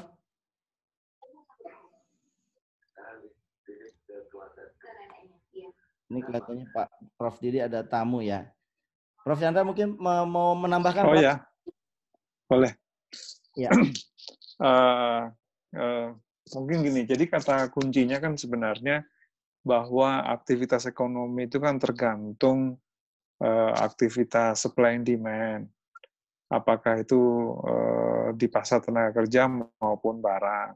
Hmm. Nah, tentu dengan adanya PSBB itu tadi, uh, gerakan manusia mobilitasnya kan jadi berkurang. Nah, pemerintah kalau kita perhatiin dari seluruh stimulus yang dibuat, kebijakannya itu lebih banyak memperbaiki disrupsi di aspek demand. Gitu kan. Nah, kalau belajar kasus di Wuhan, itu disrupsinya itu untuk supply itu juga dijaga. Kan memang eh, epicentrumnya di Wuhan. Mhm. Wuhan di lockdown, tetapi supply-nya tetap jalan. Jadi produksi tetap jalan. Nah ini jangan sampai kalau ada pembatasan itu kemudian supply-nya nggak ada. Nah, jadi kalau misalkan yang di misalkan ya yang dibatasi itu Jakarta dulu gitu sebagai epicentrumnya Indonesia gitu misalkan. Nah, ini tentu mungkin efeknya sangat besar sekali. Hmm. Tapi kan kenyataannya eh, Jakarta kalau kita dengar beritanya ada sudah 14 ribu orang udah mudik gitu. Jadi eh, nggak tahu ini kalau apakah efektif yang namanya uh, apa pembatasan itu gitu karena orang udah bergerak ke mana-mana. Tapi dari sisi ekonomi tadi yang saya sampaikan di di depan, maka kebijakan fiskalnya bisa jadi mismatch kalau ternyata orang-orang pada ke mana-mana yang uh, tadi kayak BLT itu memerlukan data yang akurat. Makanya uh, saya juga tadi nyampaikan problemnya bukan hanya besaran fiskal yang untuk kita siapkan, tetapi bagaimana mendeliver kepada orang-orang itu.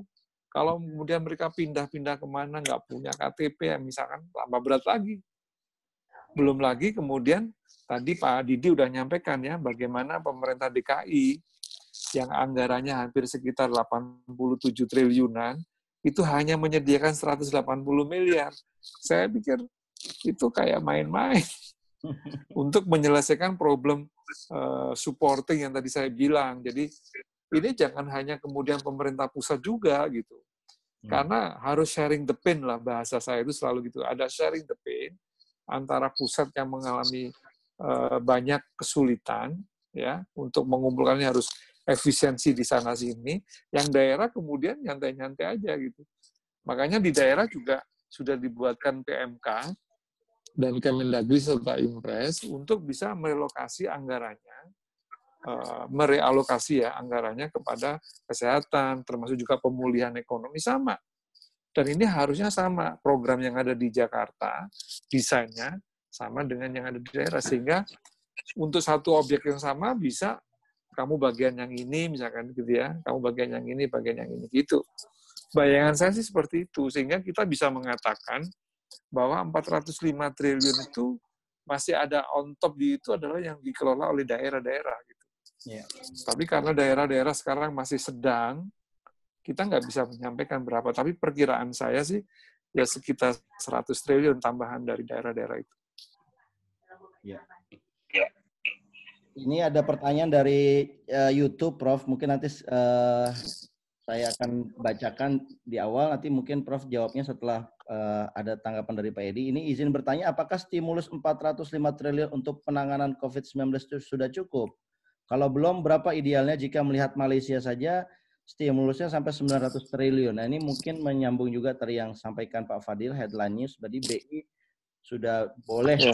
kan beli, berarti kan sebetulnya tidak ada batas atasnya kan sebetulnya tidak ada uh, apa istilahnya hmm. larangan ya Prof ya hmm. itu tadi ya. ya. Prof Edi silakan Prof. Ya. Tanggapannya Prof. Pak Edi, Pak Edi Purnaman, Pak Edi ya, Purnaman. Ya, oke. Okay. Assalamualaikum. Yang terakhir nih. Waalaikumsalam. Hampir jam okay. 20 ya luar biasa. Diskusinya menarik sekali. Dari Profesor Didi dan Prof Chandra. Wah luar biasa ini hostnya juga.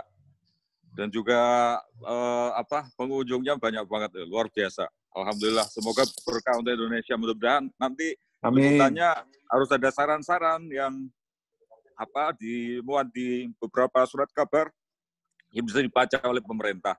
Kalau uh, apa yang saya pikirkan sekarang setelah kemarin saya presentasi mengenai uh, lockdown atau PSBB atau karantina yang lebih terbatas, yang kali ini saya tergeliti untuk memberikan saran kepada pemerintah. Mm-hmm. Kenapa uh, apa ya? Uh, tadi saya setuju dengan Mas Dani tadi di mana di Jerman yang sudah di lockdown Jerman. Jadi pemerintah sekarang fokusnya mestinya betul-betul uh, tackle down mengenai COVID-nya dulu, yang lain belakangan. Karena yang kita alami sekarang ini sama sekali berbeda dengan krisis-krisis sebelumnya. Apalagi hmm. krisis global misalnya ya. Yang agak mirip-mirip uh, apa skalanya adalah global uh, depression pada waktu itu. Great Depression pada waktu itu. 1929 sampai 10 tahun kemudian baru recover. Jadi pada waktu itu kalau sedikit boleh bercerita, presiden yang mengalami uh, uh, Great Depression tahun 1920-an itu adalah si Herbert. Herbert Hoover kemudian di, diteruskan oleh Franklin Delano Roosevelt. Skalanya yang saya bilang besar sekali seperti Great Depression. Tahun 20-an perekonomian Amerika oleh si Hoover yang sangat sukses itu tumbuhnya luar biasa besar. Kemudian eh, tahun 20-an itu dikenal sebagai the roaring twenties. Jadi tahun uh, tahun 20-an yang luar biasa gitu ya karena perekonomian tumbuh luar biasa, maka spekulasi juga luar biasa. Dan akhirnya pada sekitar Agustus 29 itu puncak-puncak spekulasi. Dan Indonesia sekarang juga mengalami spekulasi yang luar biasa. Orang, investor, cari aman, itu buang saham, buang rupiah, kemudian buang obligasi, dan seterusnya. Sehingga ada sedikit mirip-miripnya skalanya ya. Tetapi di balik itu krisis yang sekarang ini global juga, tetapi lebih parah kalau menurut saya. Mengapa lebih parah? Karena ada soal kesehatan yang kita sama sekali belum tahu bagaimana penyelesaiannya. Jadi ada double crisis yang yang sekarang sedang kita alami itu double crisis, krisis kesehatan yang kita tidak tahu penyelesaiannya. Yang kedua adalah krisis ekonomi di belakangnya. Yang ini adalah Great Depression. Bahkan tadi bosnya IMF, Kristalina Georgieva, sudah mengatakan bahwa 2020 akan terjadi global financial crisis. Meskipun ya, meskipun ada komanya. 2021 diharapkan bisa recover. Jadi kalau saya membayangkan, kalau persoalan kesehatan ini tidak bisa diselesaikan dengan cepat atau bahkan mundur sampai katakanlah Agustus, September, atau bahkan ada yang memprediksi sampai akhir tahun, maka parah sekali ini negara-negara yang dianggap sudah berhasil melakukan uh, take lockdown di uh, apa kesehatan itu ternyata masih ada uh, dampak-dampaknya, masih ada second wave-nya dan seterusnya. Banyak negara yang kemudian sampai hari ini uh, kasusnya meningkat luar biasa. Nah, yang saya kira perlu dilakukan oleh pemerintah sekarang fokus fokus kepada uh, persoalan kesehatan dulu deh tetapi persoalan kesehatan itu ya tidak bisa dipisahkan dengan persoalan perut ya. Oleh karena itu kebutuhan dasar dan kesehatan dasar ini dulu yang harus dipenuhi. Bagaimana hmm. APD seperti yang kita diskusikan Paren. APD itu bisa disediakan. Nah, sekarang kita sudah punya solusinya. Hmm. Solusinya adalah perusahaan-perusahaan tekstil diminta oleh pemerintah untuk merubah secara cepat produksinya, katakanlah misalnya Sritek dari pakaian tempur menjadi APD. Cuma harganya masih mahal. Pemerintah perlu siap duitnya itu salah satunya untuk membeli APD karena APD itu biasanya sekali dibuang. Nah, Sritek ini bisa memproduksi APD yang 10 kali bisa dipakai. Jadi bisa dicuci dia, kemudian dipakai lagi 10 kali. Cuma harganya mahal. Harganya satu juta per, per APD. Kalau yang biasa, yang langsung sekali buang, itu sekitar hanya 80 eh, ribu, 55 eh, ribu sampai 100 ribu. Jadi bagaimana si BNPB itu kemudian bisa berhubungan dengan Sritek, menyiapkan APD yang bisa diproduksi oleh Sritek secara massal itu 17,5 juta satu bulan. 17,5 juta eh, APD dalam satu bulan. Nah ini kalau bisa terus-menerus kemudian melayani uh, tenaga medis sehingga dia tidak ketularan, maka diharapkan apa masa berlangsungnya krisis kesehatan ini bisa segera uh, lebih lebih singkat lah, misalnya begitu. Jadi pemerintah fokus alkes, pemerintah fokus tes tes COVID yang rencananya akan didatangkan dari China itu satu juta, yang sekarang ternyata baru menurut uh, kepala satgas kesehatan yang dari ID dari ID itu baru 150 ribu. Nah ini perlu cepat-cepat tuh fokus ke uh, penyelamatan orang, penyelamatan uh, tenaga medis, persediaan kamar di rumah sakit, merubah hotel menjadi rumah sakit, kemudian konsentrasi kepada daerah-daerah yang merah. Ini kemudian diberikan rumah sakit yang apa yang baru yang kemudian ekspektasi menurut data yang jam 15.30 itu masih sangat memuncak gini, saya kira tidak akan berakhirnya tidak akan cepat itu. Jadi barangkali uh, teman-teman yang dari UI yang memprediksi dengan modeling, termasuk juga dengan ITB itu barangkali nanti uh, modelnya perlu diperbaiki berdasarkan data yang ternyata datanya itu uh, kurang banyak gitu ya. Jadi yang meninggal karena COVID itu karena persoalan pencatatan, ya, seperti misalnya yang terjadi di Jakarta kemarin, atau tadi ya, 283, tetapi kemudian yang diakui COVID hanya 67. Kenapa? Salah satunya adalah karena barangkali pada saat tes, kemudian tesnya belum ada hasilnya, keburu orangnya sudah meninggal. Ya. Jadi, in reality, yang meninggal banyak ini. Dan hmm. yang meninggal banyak itu menimbulkan spekulasi yang berlebihan buat Indonesia. Ada berdampak ekonomi pada ketidakpercayaan kepada Indonesia yang uh, apa dari data yang kemarin dikeluarkan mengenai risiko negara-negara itu Indonesia termasuk yang tinggi. Artinya kemudian uh, investor asing yang kemudian harusnya masuk ketika uh, data COVID-nya membaik itu melihat Indonesia ternyata yang berjatuhan banyak sekali. Jadi ini perlu di tackle down yang yang yang, yang apa yang fokus gitu, yang yang cepat gitu ya. Rumah sakit kemudian tenaga medis, dokter dan perawat, jangan sampai dia ketularan, makanya kemudian dibutuhkan APD yang cepat, impor dari China, produksi dari uh, manufacturing teks, teks, tekstil tekstil itu, restricted 17,5 juta, mereka mampu, itu kemudian diteketin, kemudian bekerja sama. Oleh karena itu salah satu solusi dari persoalan double crisis ini itu adalah kesehatan awal, kemudian yang belakangan adalah baru recovery ekonomi. Nah, kesehatan itu pemerintah harus bekerja sama dengan pengusaha. Seperti halnya Philippines. Philippines mengundang Ayala Corporation, Philippines mengundang uh, San Miguel, kemudian Philippines mengundang konglomerat-konglomerat untuk mengatasi bersama-sama. Jadi ini tadi saya setuju dengan istilahnya Pak Chandra tadi, share the pain. Ini saatnya untuk betul-betul menunjukkan kalau zaman dahulu 2009 39 itu Great Depression itu itu dipotong tuh gaji gaji seluruh pegawai itu dipotong, termasuk juga barangkali nanti bisa diusulkan kepada perusahaan-perusahaan swasta.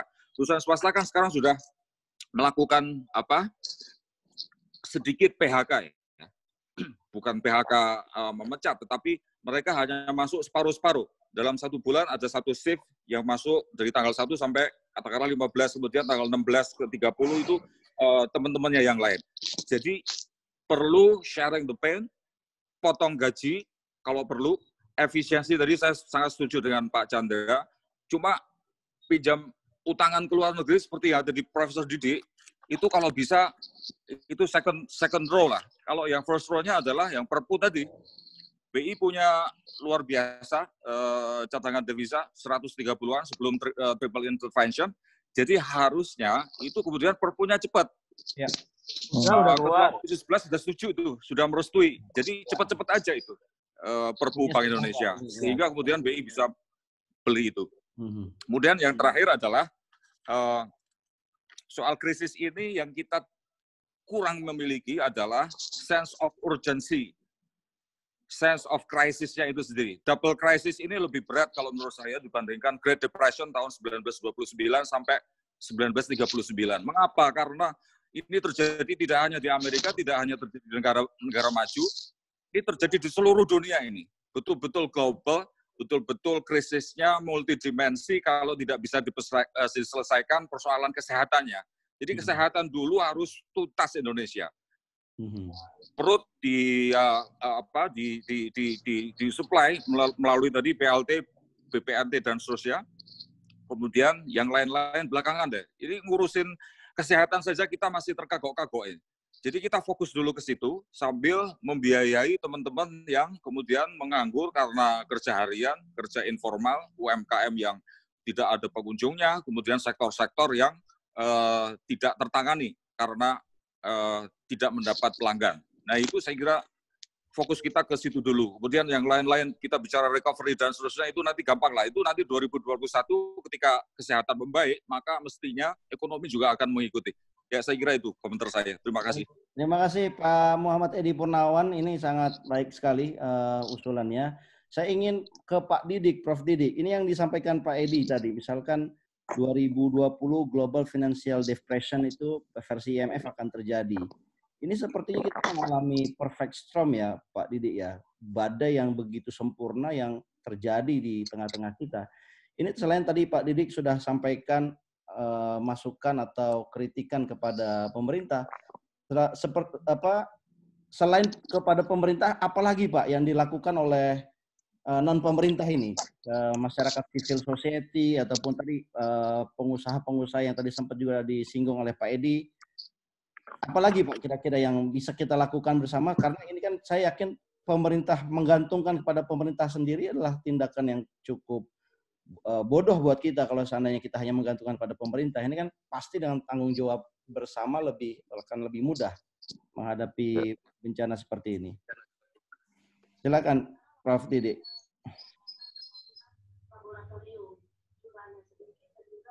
Kalau Ya, gimana Pak Edi? Ini Prof. Didi kayaknya Oke, okay. kalau Prof. Didi belum, saya ada usulan juga mengenai itu. Mm -hmm. Jadi, seperti yang saya singgung kemarin dengan host, itu daerah-daerah itu harus berinisiatif untuk juga langsung punya sense of crisis, kemudian bikin apa namanya, bikin institusi yang dikelola oleh masyarakat sendiri gitu ya. Mm-hmm. Di Jogja ada yang namanya institusinya namanya Sonjo. Sonjo itu artinya silaturahmi. Isinya adalah segala macam lapisan masyarakat dari pejabat, dosen, mahasiswa, tenaga medis, kemudian manajemen rumah sakit, kemudian produsen APD, kemudian uh, yang membutuhkan APD tentu saja adalah rumah sakit juga, kemudian ada perawat-perawat, ekonom, kemudian ada uh, apa pejabat-pejabat yang pada akhirnya saya minta untuk masuk ke situ yang menangani uh, krisis COVID ini dari yang namanya perwakilannya BNPB namanya BPPD. BPPD itu yang di tingkat daerah, kalau di tingkat pusat namanya uh, apa uh, BNPB. Nah, seperti yang kemarin saya juga saya singgung, ternyata koordinasi informasi itu penting sekali bahwa di daerah itu terjadi banyak sekali uh, asymmetric information. Ternyata APD-nya sudah tersedia, tapi kemudian rumah sakit merasa ini di mana ini APD-nya kok belum ada. Ternyata sudah ada di gudangnya BPPD, Badan Penanggulangan uh, Bencana Daerah. Jadi dengan institusi yang cuma sederhana dengan WhatsApp group, itu banyak kebutuhan-kebutuhan yang langsung bisa ditackle segera dengan cepat, kemudian bisa langsung dibawa. Termasuk juga APD tadi. Ada informal-informal producers yang kecil-kecil itu, skala UMKM, yang bersedia membuat. Dan akhirnya itu kemudian langsung dikirim ke ke mana ke fakultas kedokteran, kemudian ada labnya, dites, dan ternyata ada beberapa yang memenuhi syarat. Yang memenuhi syarat itu kemudian tinggal memanggil, mencari penjahit-penjahit karena penjahit itu akan dibutuhkan banyak. Nah ternyata kemudian melalui searching di uh, mana di uh, sosial media kita bisa mendapatkan kumpulan penjahit Yogyakarta.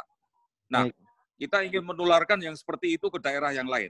Uh-huh. Oleh karena itu maka kita menginvite yang namanya observer. Observer-observer itu kemudian kita invite di grup belajar dalam waktu satu minggu kemudian dia diminta untuk membuat semacam institusi itu di daerahnya. Jadi sudah banyak observer yang keluar masuk. Nah mudah-mudahan dengan institusi masyarakat membantu negara, ini nanti penyelesaian persoalan COVID ini lebih cepat gitu. Baik. Jadi harus ada breakthrough, harus ada apa? Yang kemarin saya, saya sebutkan adalah thinking the unthinkable. Ini malah mendekatkan masyarakat, lapisan masyarakat, termasuk juga dengan pemerintah. Ya. Kalau tidak ada peran uh, masyarakat, saya kira masih lama itu pemerintah sendirian nggak mampu, saya kira negara ya. sendirian nggak mampu. Harus dengan bantuan masyarakat. Baik, thinking. Oke, terima kasih. Prof. Chandra, kita sudah berada di pukul 22.07. Kelihatannya kita ingin mau mengakhiri. Saya berikan ke Pak Chandra untuk closing statement, Pak, untuk merangkum uh, diskusi kita pada hari ini. Dan saya juga minta ke Pak Didik setelah itu untuk juga memberikan closing statement. Silakan, Prof. Chandra Ananda. Oke, okay, uh, makasih teman-teman semua, termasuk kesempatan yang diberikan oleh Pak Ahmad Nur Hidayat ya. Jadi kita perlu memahami bahwa fungsi pemerintah itu kan ada alokasi, eh, kemudian stabilisasi, distribusi. Tapi secara umum adalah pemerintah harus melindungi rakyatnya, apa pun, at any cost. Gitu. Mm-hmm. Itu prinsip yang harusnya kita pahami semua. Nah, apa yang terjadi saat ini memang prioritas tadi sudah disampaikan oleh Mas Denny, Mas Didi, kemudian Pak Edi, bahwa memang kesehatan nomor satu. Tetapi di dalam Eh, menyelesaikan permasalahan ini ternyata kan kita ini sudah banyak aturan yang kita bikin sendiri sebenarnya. Aturan-aturan itu ternyata juga menghambat kita untuk melakukan tujuan yang mulia itu gitu. Mhm. Nah sehingga kemudian harus dibuat uh, pemungkas ya pemungkas yaitu perpu itu gitu. Walaupun perpu ini uh, mengindikasikan bahwa uh, nanti kalau nanti diskusi lagi nih ya Iya. Nah ini nasibnya omnibus law gimana? itu juga jadi menarik itu. Iya. Tapi intinya adalah bahwa undang-undang yang kita bikin sendiri itu ternyata juga punya masalah gitu, sehingga kita harus menyelesaikan semua dengan cepat. Akhirnya perpu ini. Dan alhamdulillah tadi kalau disampaikan Pak Fadil bahwa BI sudah diperbolehkan ada bisa membeli gitu ya SBN di pasar perdana karena yang kita takutkan saat kita menerbitkan SBN untuk financing dari defisit itu, maka nggak mungkin dengan harga yang sekarang. Pasti dia harus lebih tinggi. Dan itu tentu bagi beban yang ke depannya. Yang ketiga, sangat penting di dalam kesepakatan kita secara nasional APBN, kita udah ngasih misalkan let's say 405 triliun. Ternyata delivery ke bawah itu nggak semudah itu. Gitu. Mm -hmm. Ternyata kita memerlukan data akurat, data yang bagus dan uh, saya sih berharap ya, moga-moga di kepemimpinan Pak Jokowi yang kedua ini data-data tentang orang miskin itu betul-betul valid dan ini sekarang kan ada sensus penduduk ya online. Hmm. Mungkin saya juga ini titip ke teman-teman kalau bisa sudah harus mengisi sensus penduduk online hmm. supaya jumlah karena sampai hari ini terakhir ini 31 Maret sebenarnya itu baru 34 jutaan Nah, akhirnya diperpanjang sampai Mei gitu. Tapi eh, tadi dalam diskusi kita di rapimnya Kementerian Keuangan diharapkan sampai September bahkan gitu. Karena data ini kunci dari kualitas dari public policy gitu kan. Mm-hmm. Nah, kemudian yang terakhir saya pikir tadi Pak Fadil udah menyindir sih di di atas di depan paling awal. Indikator bahwa uh, stimulus maupun kebijakan yang kita bikin atau seperti Pak Edi tadi kesehatan. Apa indikator keberhasilan suatu kebijakan? Ini mungkin yang diskusi awal paling awal saya dengan Pak Madnur tentang flattering itu gitu. Mm-hmm. Jadi kalau memang jumlah orang yang sakit yang baru ini kemudian sudah mulai berkurang minimal flat berarti usaha-usaha kita sudah menunjukkan keberhasilan gitu. Nah sampai sekarang ini pertumbuhan kita untuk orang yang sakit baru, walaupun masih ada kelemahan ya, Mang tadi disampaikan teman mungkin rapid testnya gagal, kemudian belum sampai masif gitu ya. Tetapi setidaknya udah menggambarkan bahwa kita masih di awal-awal ini gitu. Nggak tahu kapan flatnya gitu. Ya moga-moga dengan adanya apa stimulus yang baru ini kita bisa menunjukkan hasil yang lebih baik. Jadi di JP Morgan itu sudah mengatakan bahwa kita mengalami a dual health and economic crisis. Jadi dua hantaman kalau menurut JP Morgan.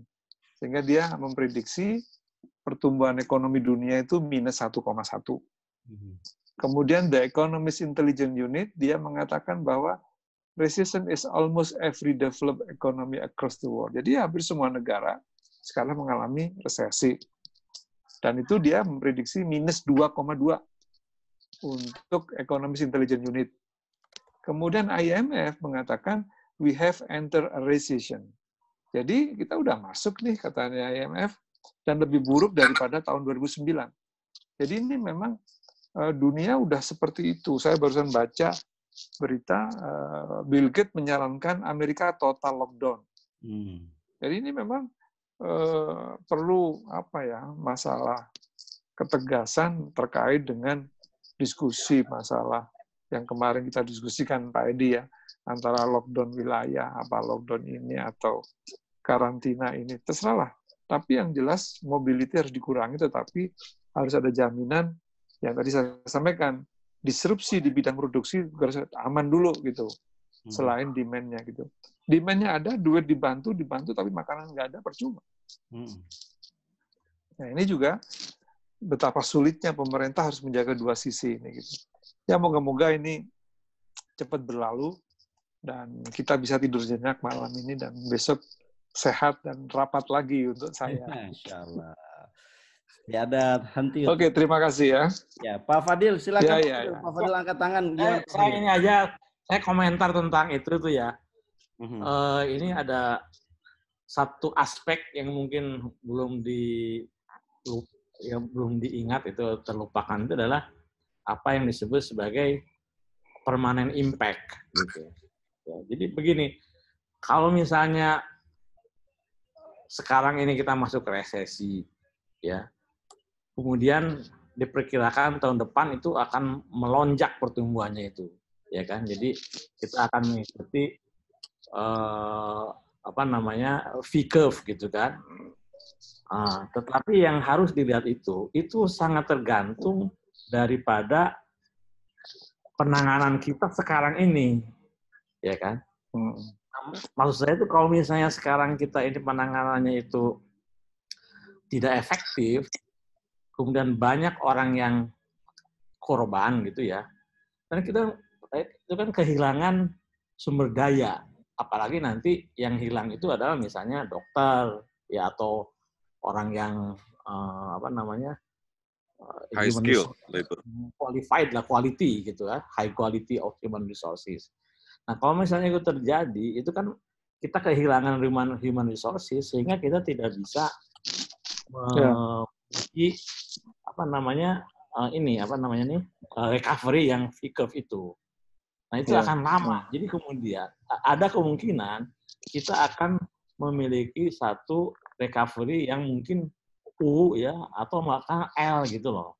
Dan kita akan memiliki pertumbuhan ekonomi yang berbeda dengan yang selama ini kita miliki. Misalnya kalau sekarang ini 5%, maka mungkin ke depannya itu akan berkisar mungkin dua atau tiga persen, tiga persen. Dan ini yang berbahaya karena kita kehilangan permanent itu. Apa kita memiliki kehilangan loss of uh, human resources itu.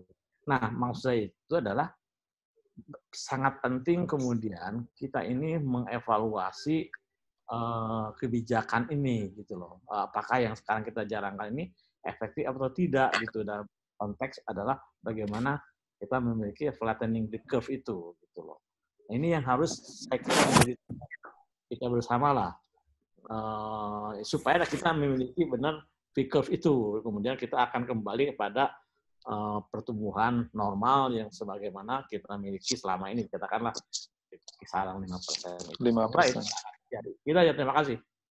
Ya, terima kasih Pak Fadil. Pak Didik, apakah masih bersama kami, Prof. Didik? Ya, ya, ya, ya. Ah, ya, gimana, ya. Prof? Silakan, Prof. Uh, closing statement, Prof. Dari apa yang didiskusikan dua jam terakhir ini, Prof. Yang Pak Edi ya, Pak Muhammad Edi tadi sudah penutupan itu. Saya kira saya setuju dengan apa yang disampaikan. Hmm. Di Jogja, ya, di Jogja tempat belajar pada waktu uh, ada krisis bencana, level, level modal sosial di Jogja itu sangat kuat sekali dan memang bantuan banyak tapi faktor masyarakat uh, mempercepat ya uh, penyelesaian bencana ya dan itu dengan modal sosial dan kepemimpinan yang kuat ya. Nah, teman-teman di Aceh ada masalah dulu ya, itu kemudian kocar kacir ya. Uh, ada yang pembonceng gratis dibikin mahal, sewa rumah tawa ini wah jadi kacau ya. Nah, saya kira belajar kepada Jogja dan itu diperlukan kepemimpinan yang baik. Saya kira itu dari saya ya. Sudah malam nih ya, Mas ya. Ya. Saya kira dari saya cukup ya. Assalamualaikum warahmatullahi wabarakatuh. Waalaikumsalam. Akhirnya kita sudah di ujung acara. Ini saya memberikan chat buat semua penghuni uh, Zoom kita ini yang sekarang 76, tadi sempat 90. Ini saya buat grup WAG untuk Zoom meeting. Jadi kalau seandainya teman-teman ingin bergabung, ingin mendapatkan info-info uh, diskusi sesi berikutnya, saya akan sharing di grup nah, itu uh, grup uh, WAG Zoom meeting ini. Jadi teman-teman silakan untuk mengklik, silakan bergabung, itu sudah open. Uh, dan mungkin sesi berikutnya kita mau undang Dr. Naim ya, uh, ahli kesehatan publik dari Harvard University untuk diskusi bersama kita tentang uh, virus corona. Jadi kita sudah banyak bicara tentang ekonominya, tapi kita pengen juga dengar ya dari pakar mengenai virusnya itu sendiri. Apakah betul dugaan orang bahwa virus ini tidak alami atau sebaliknya malah virus ini sebetulnya alami siklus 100 tahunan. Nah ini ini menarik ya karena saya di, di, ditanya banyak orang juga. Coba kita teliti apakah virus ini termasuk uh, senjata biologis atau bukan misalkan begitu. Nah ini kita ingin juga dapatkan informasinya dari Dr. Naim nanti kita akan infokan lebih lanjut uh, ke teman-teman uh, di di grup ataupun nanti melalui uh, jaringan dari teman-teman. Sebelum saya tutup, saya ingin bacakan pantun, pantun penutupan. Ayam berkokok di pagi hari. Mari kita bangun bersama-sama. Kami ingin menutup acara ini Terima kasih sudah hadir di sini. Demikian, Terima kasih Prof. Chandra, Prof. Ya. Didik, uh, Pak Edi, Pak Fadil, dan semua yang ya. hadir ini. Semoga acara kita ini berkah untuk menyadarkan kita sendiri dan juga menyadarkan teman-teman kita. Terima kasih. Assalamualaikum Siap. warahmatullahi wabarakatuh. Kita tutup, Pak, sama-sama. Waalaikumsalam. Waalaikumsalam. Waalaikumsalam. Alhamdulillah.